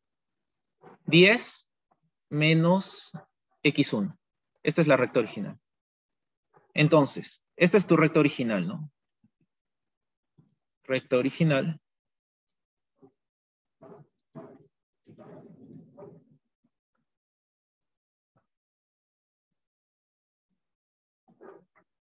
Y eh, esto es lo que has hallado, ¿no? Que era 5 y 5. Ahora, tu recta final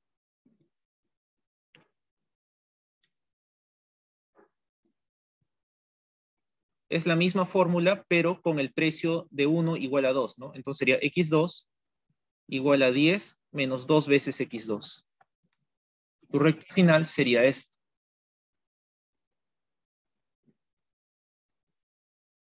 Acá otra vez, ¿no?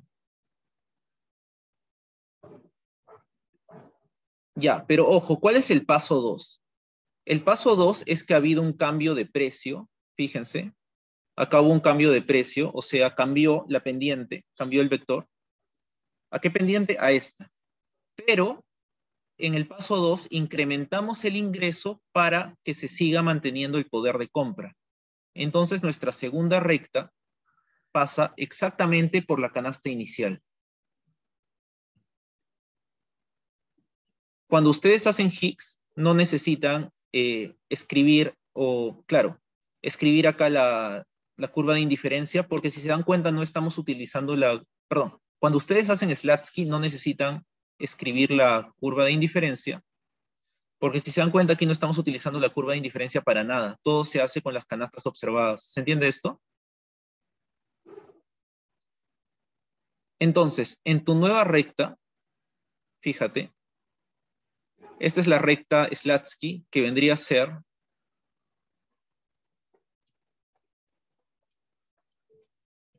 que vendría a ser 15 eh, sobre 2, perdón, 15 sobre 1, menos 2 sobre 1, x1. O sea, 15 menos 2, x1. Esta es la recta Slatsky, ¿no? Con el ingreso adicional. Y cuando nosotros tuvimos esa recta, fíjense en el paso 3, nosotros consumimos más o menos por acá, ¿no?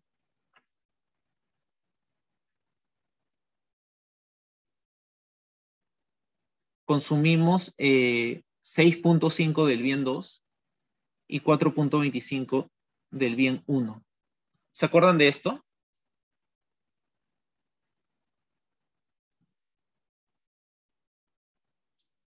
Esto acá.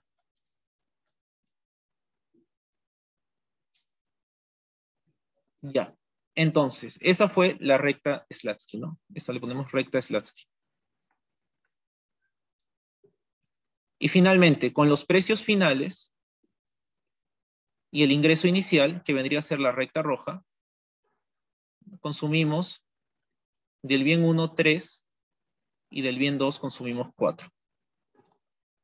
Entonces, ¿esto cómo se ve? Del, del 5 al 4.25 es el efecto sustitución y del 4.25 al 3 es el efecto ingreso. El salto del 5 al 3 es el efecto total. Para el caso del X2, del 5 al 6.25 es el efecto sustitución y del 6.5 al 4 es el efecto ingreso. Y el salto del 5 al 4 es el efecto total. Ahí si quieren le pueden poner una recta, ¿no? Para que se vea un poco más bonito, pero estrictamente hablando no la has utilizado para nada. Creo que mejor no la ponemos, el gráfico. ¿Han entendido esto? O al menos tienen la intención para que ya luego lo trabajen en casa.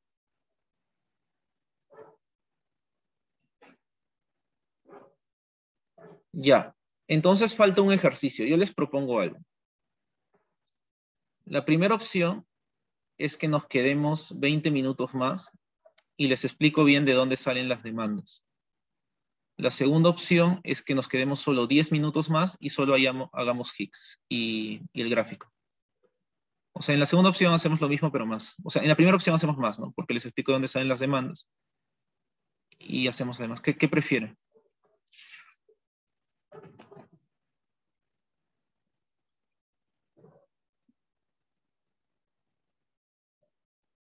La primera, ya, muy bien, a darle nomás. Me gusta esa actitud. Ya. La PC2 va a ser un poco más matemática, les, voy avisando desde ahorita, ¿no? Se dan cuenta que la PC1 fue un poco más teórica porque los temas que habíamos hecho hasta eran más teóricos. Entonces la PC2 ya es gráficos, matemática, entonces está bien que, que lo practique. Ya. Entonces fíjense que tenemos esa función de utilidad, ¿no? Esta función de utilidad, eh, para poder hacer todo lo que hemos ah, hecho, Higgs y Slatsky, necesitamos dos cosas, ¿no? Demandas marshallianas y demandas higksianas. Entonces, ¿cómo llamamos la marshalliana, no? Maximizar U de min de x1, x2, sujeto a precio 1, x1 más precio 2, x2, ¿no? Igual a i0. Entonces comenzamos con las marshallianas. ¿Se acuerdan de esto, no? No podemos utilizar cálculo, no podemos derivar porque la función mínimo ahí no, no se presta para eso. Pero sabemos que en el óptimo, x1 es igual a x2. Entonces reemplazamos en la recta presupuestaria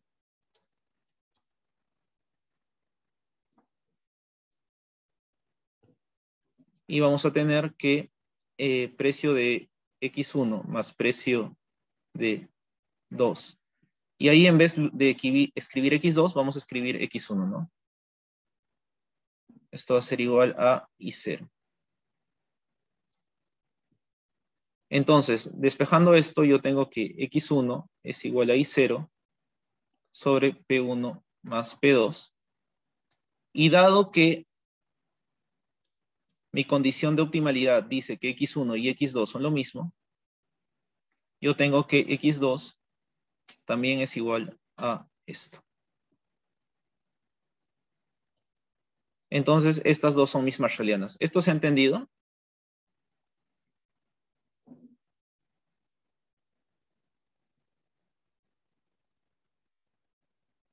Ya. Entonces, ahora vamos con la función de utilidad indirecta. Y ustedes me dirán, ¿para qué? Para hallar las higsianas. Porque en este ejercicio necesitas la función de utilidad indirecta para hallar las higsianas. Creo que eso estaba en, la, en el control virtual. Eh, entonces, tu función de utilidad indirecta ya saben que sería la función de utilidad evaluada en las marshallianas, ¿no?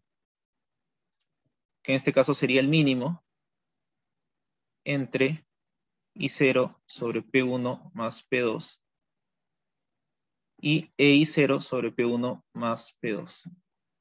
De esta forma tienes que tu función de utilidad indirecta va a ser igual a I0 sobre P1 más precio 2. Hasta aquí todo claro, ¿no? Entonces, con tu función de utilidad indirecta, hallas la función de gasto mínimo.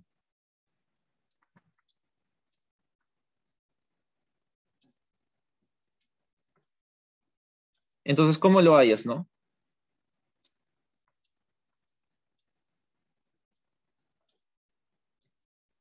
Pasas los precios a la izquierda y ese I0 lo reemplazas por un E de U0, precio 1 y precio 2. Por lo que tu función de gasto mínimo sería igual a esto. Por la dualidad, ¿no? ¿Se acuerdan? Hicimos un ejercicio de esto. Finalmente, utilizando el lema de Shepard para hallar las higsianas, lo que van a tener es que derivada de E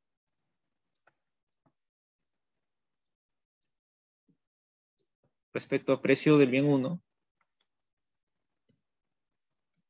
Eh, ¿Por qué la utilidad indirecta solo le igual ingresos sobre precios y quito lo mínimo? Ah, ya.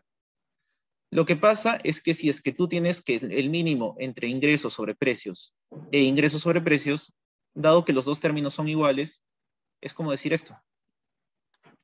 Es como decir el mínimo entre 1 y 1, es 1. ¿Ahí se entendió?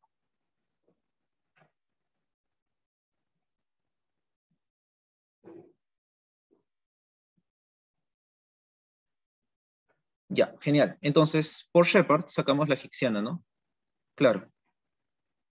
Entonces, eh, por Shepard, si derivamos el gasto respecto al precio 1, me sale la Higksiana. Y la derivada de esto respecto al precio, ¿cuánto es? U0. ¿Marcaron U0 en su, en su control virtual? Esa era la respuesta.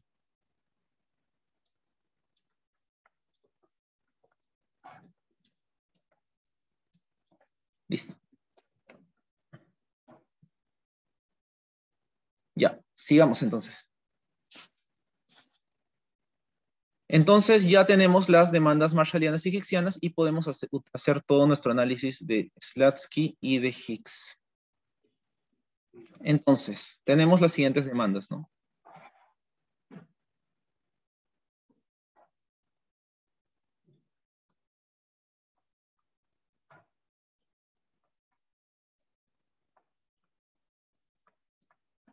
Mis marshallianas son estas.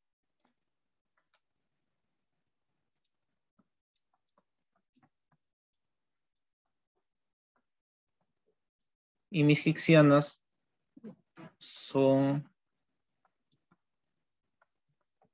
estos.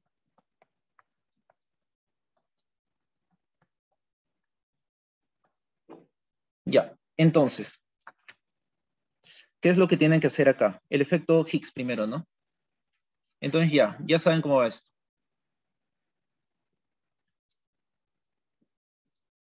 El paso uno es evaluarlo a valores iniciales, ¿no? Mi 0 es 10, precio 1 es igual a 1 y precio 2 es igual a 1. Estos serían los valores iniciales. Y los finales es lo mismo, pero con precio 1 igual a 2. Entonces, el paso 1 es evaluar eh, la canasta inicial, ¿no?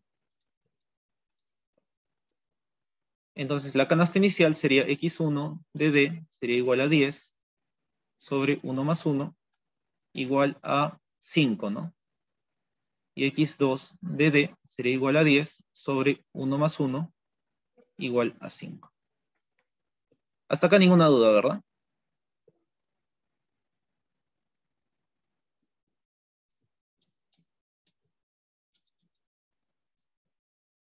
El paso 2 es hallar U0.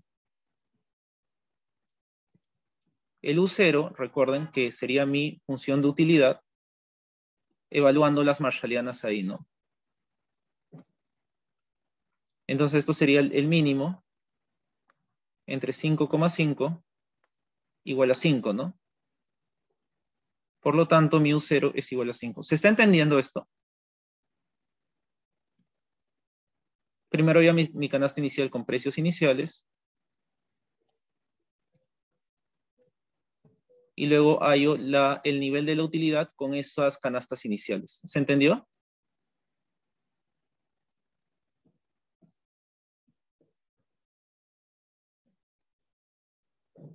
Ahí ya. Entonces vamos al paso 3. Y en esta parte está regalada, ¿no? Porque el paso 3 te dice hallar las hicksianas. Evaluadas en un 0. Y los precios finales.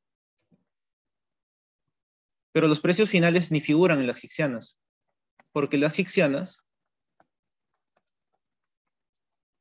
es igual a U0, o sea, es igual a 5. Entonces ahí cerró la cosa. Y el paso 4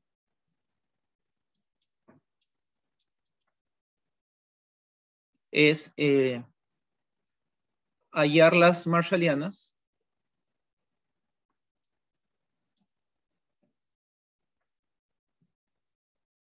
a precios finales. Entonces, las marshallianas a precios finales serían X1 de, de F. Esto sería 10 sobre 2 más 1, ¿no? Esto sería 3,33, pongamos. Y la marshalliana del bien 2 es lo mismo, ¿no? Sería 10 sobre 2 más 1. Esto sería 3,33. Y aquí viene la gracia de la, de la función de complementos perfectos. Eh, y eso se va a ver en el paso 5. Recuerdan que para el bien 1, el efecto sustitución es igual a x1 de h menos x1 de d, ¿no? Todo esto es a precios iniciales. x1 de h, ¿cuánto es? 5. Y precio 1 de d es 5, ¿no? La canasta inicial. La diferencia es 0. Con bienes complementarios no hay efecto sustitución. Esa es la moraleja del ejercicio. Y el efecto ingreso sería x1f eh, o sea, la final, menos x1 de h, ¿no? Esto ya es a precios finales todo.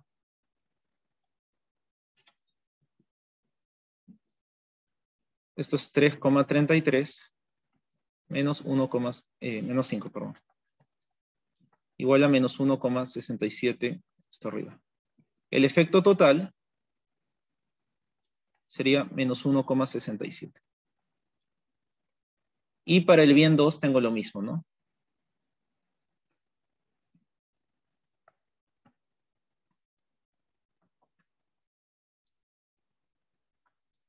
Para el bien 2 tengo el efecto sustitución, que es x1 de h menos x1, de, perdón, x2 de h menos x2 de d la X2D evaluada a precios iniciales. Esto sería 5 menos 5 igual a 0, ¿no? Y el efecto ingreso es lo mismo, si se dan cuenta.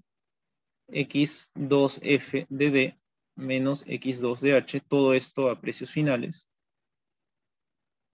Este es igual a 3,33 menos 5, igual a menos 1,67. Entonces el efecto total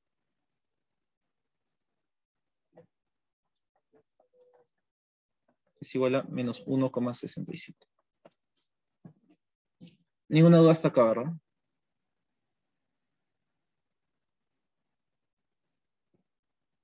Entonces, ya con esta información podemos hacer nuestro gráfico.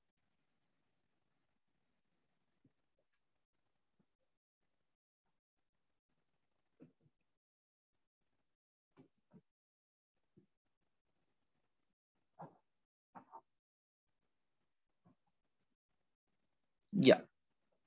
Entonces, fíjense, vamos a hacerlo paso por paso, ¿no?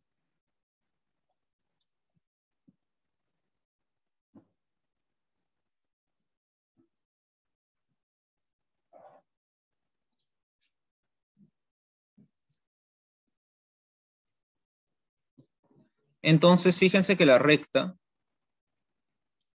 cuya forma general es x2 igual a y0 sobre precio 2 menos p1 sobre precio 2, x1.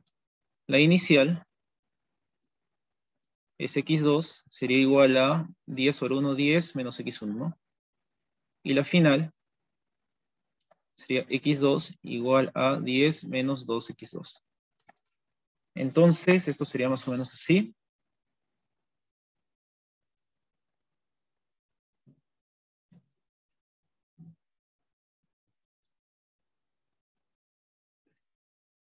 Esto es x2 y esto es x1. Esta es tu recta inicial, 10 menos x1. Y ahí tú hallas tu canasta inicial, ¿no?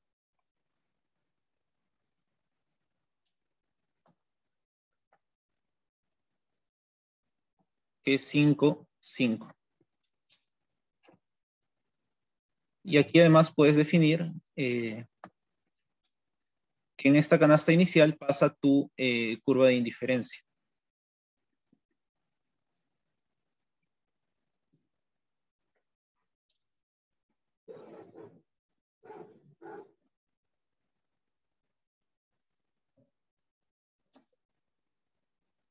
Y esta curva de indiferencia tiene un U0 igual a 5, ¿no?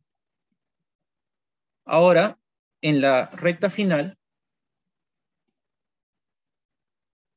tu nuevo vector de precios, tu nueva recta te da así, ¿no? Más empinada.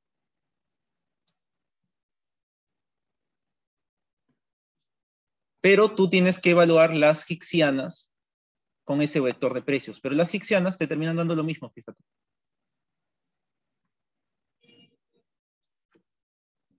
En este punto está tu x1 de original igual a tus demandas hixianas.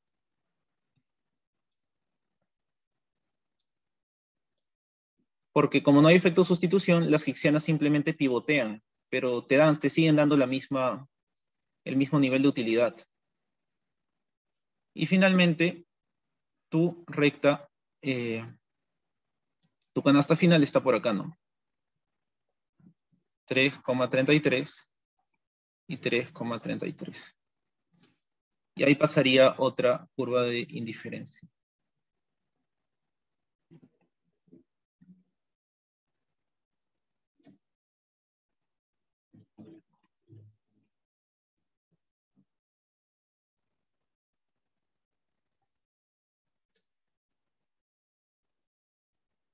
Esta sería tu XF, ¿no? XD de F.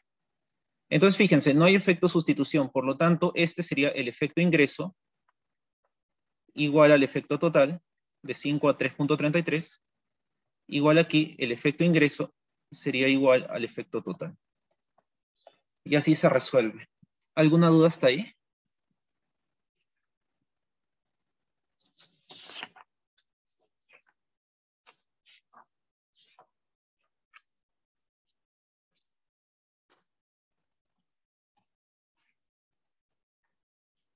Ya, entonces a las diez y media ya tengo que este, asesorar este, a, un, alumno que me pidió este, un, de mis horarios de mi oficina. Entonces lo, dejamos acá. El resto se lo subo en, la resolución. Igual me pueden preguntar en, mis, este, en correo, me pueden pedir también mis horarios de oficina.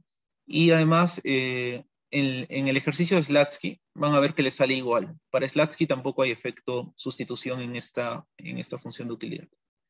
Y bueno, eso sería todo. Ya nos vemos el lunes. Ah, ya, los apuntes sí, de todas, los subo. Eh, ya los veo el próximo lunes. Y creo que varios de ustedes tienen macro el viernes, ¿no? ¿Están estudiando? Ah, las notas de la PC1 eh, se suben hoy día. Hoy día las subimos de todas. Ya. Ya los veo y estudian macro de que viene el viernes con todo. Cuídense, cuídense.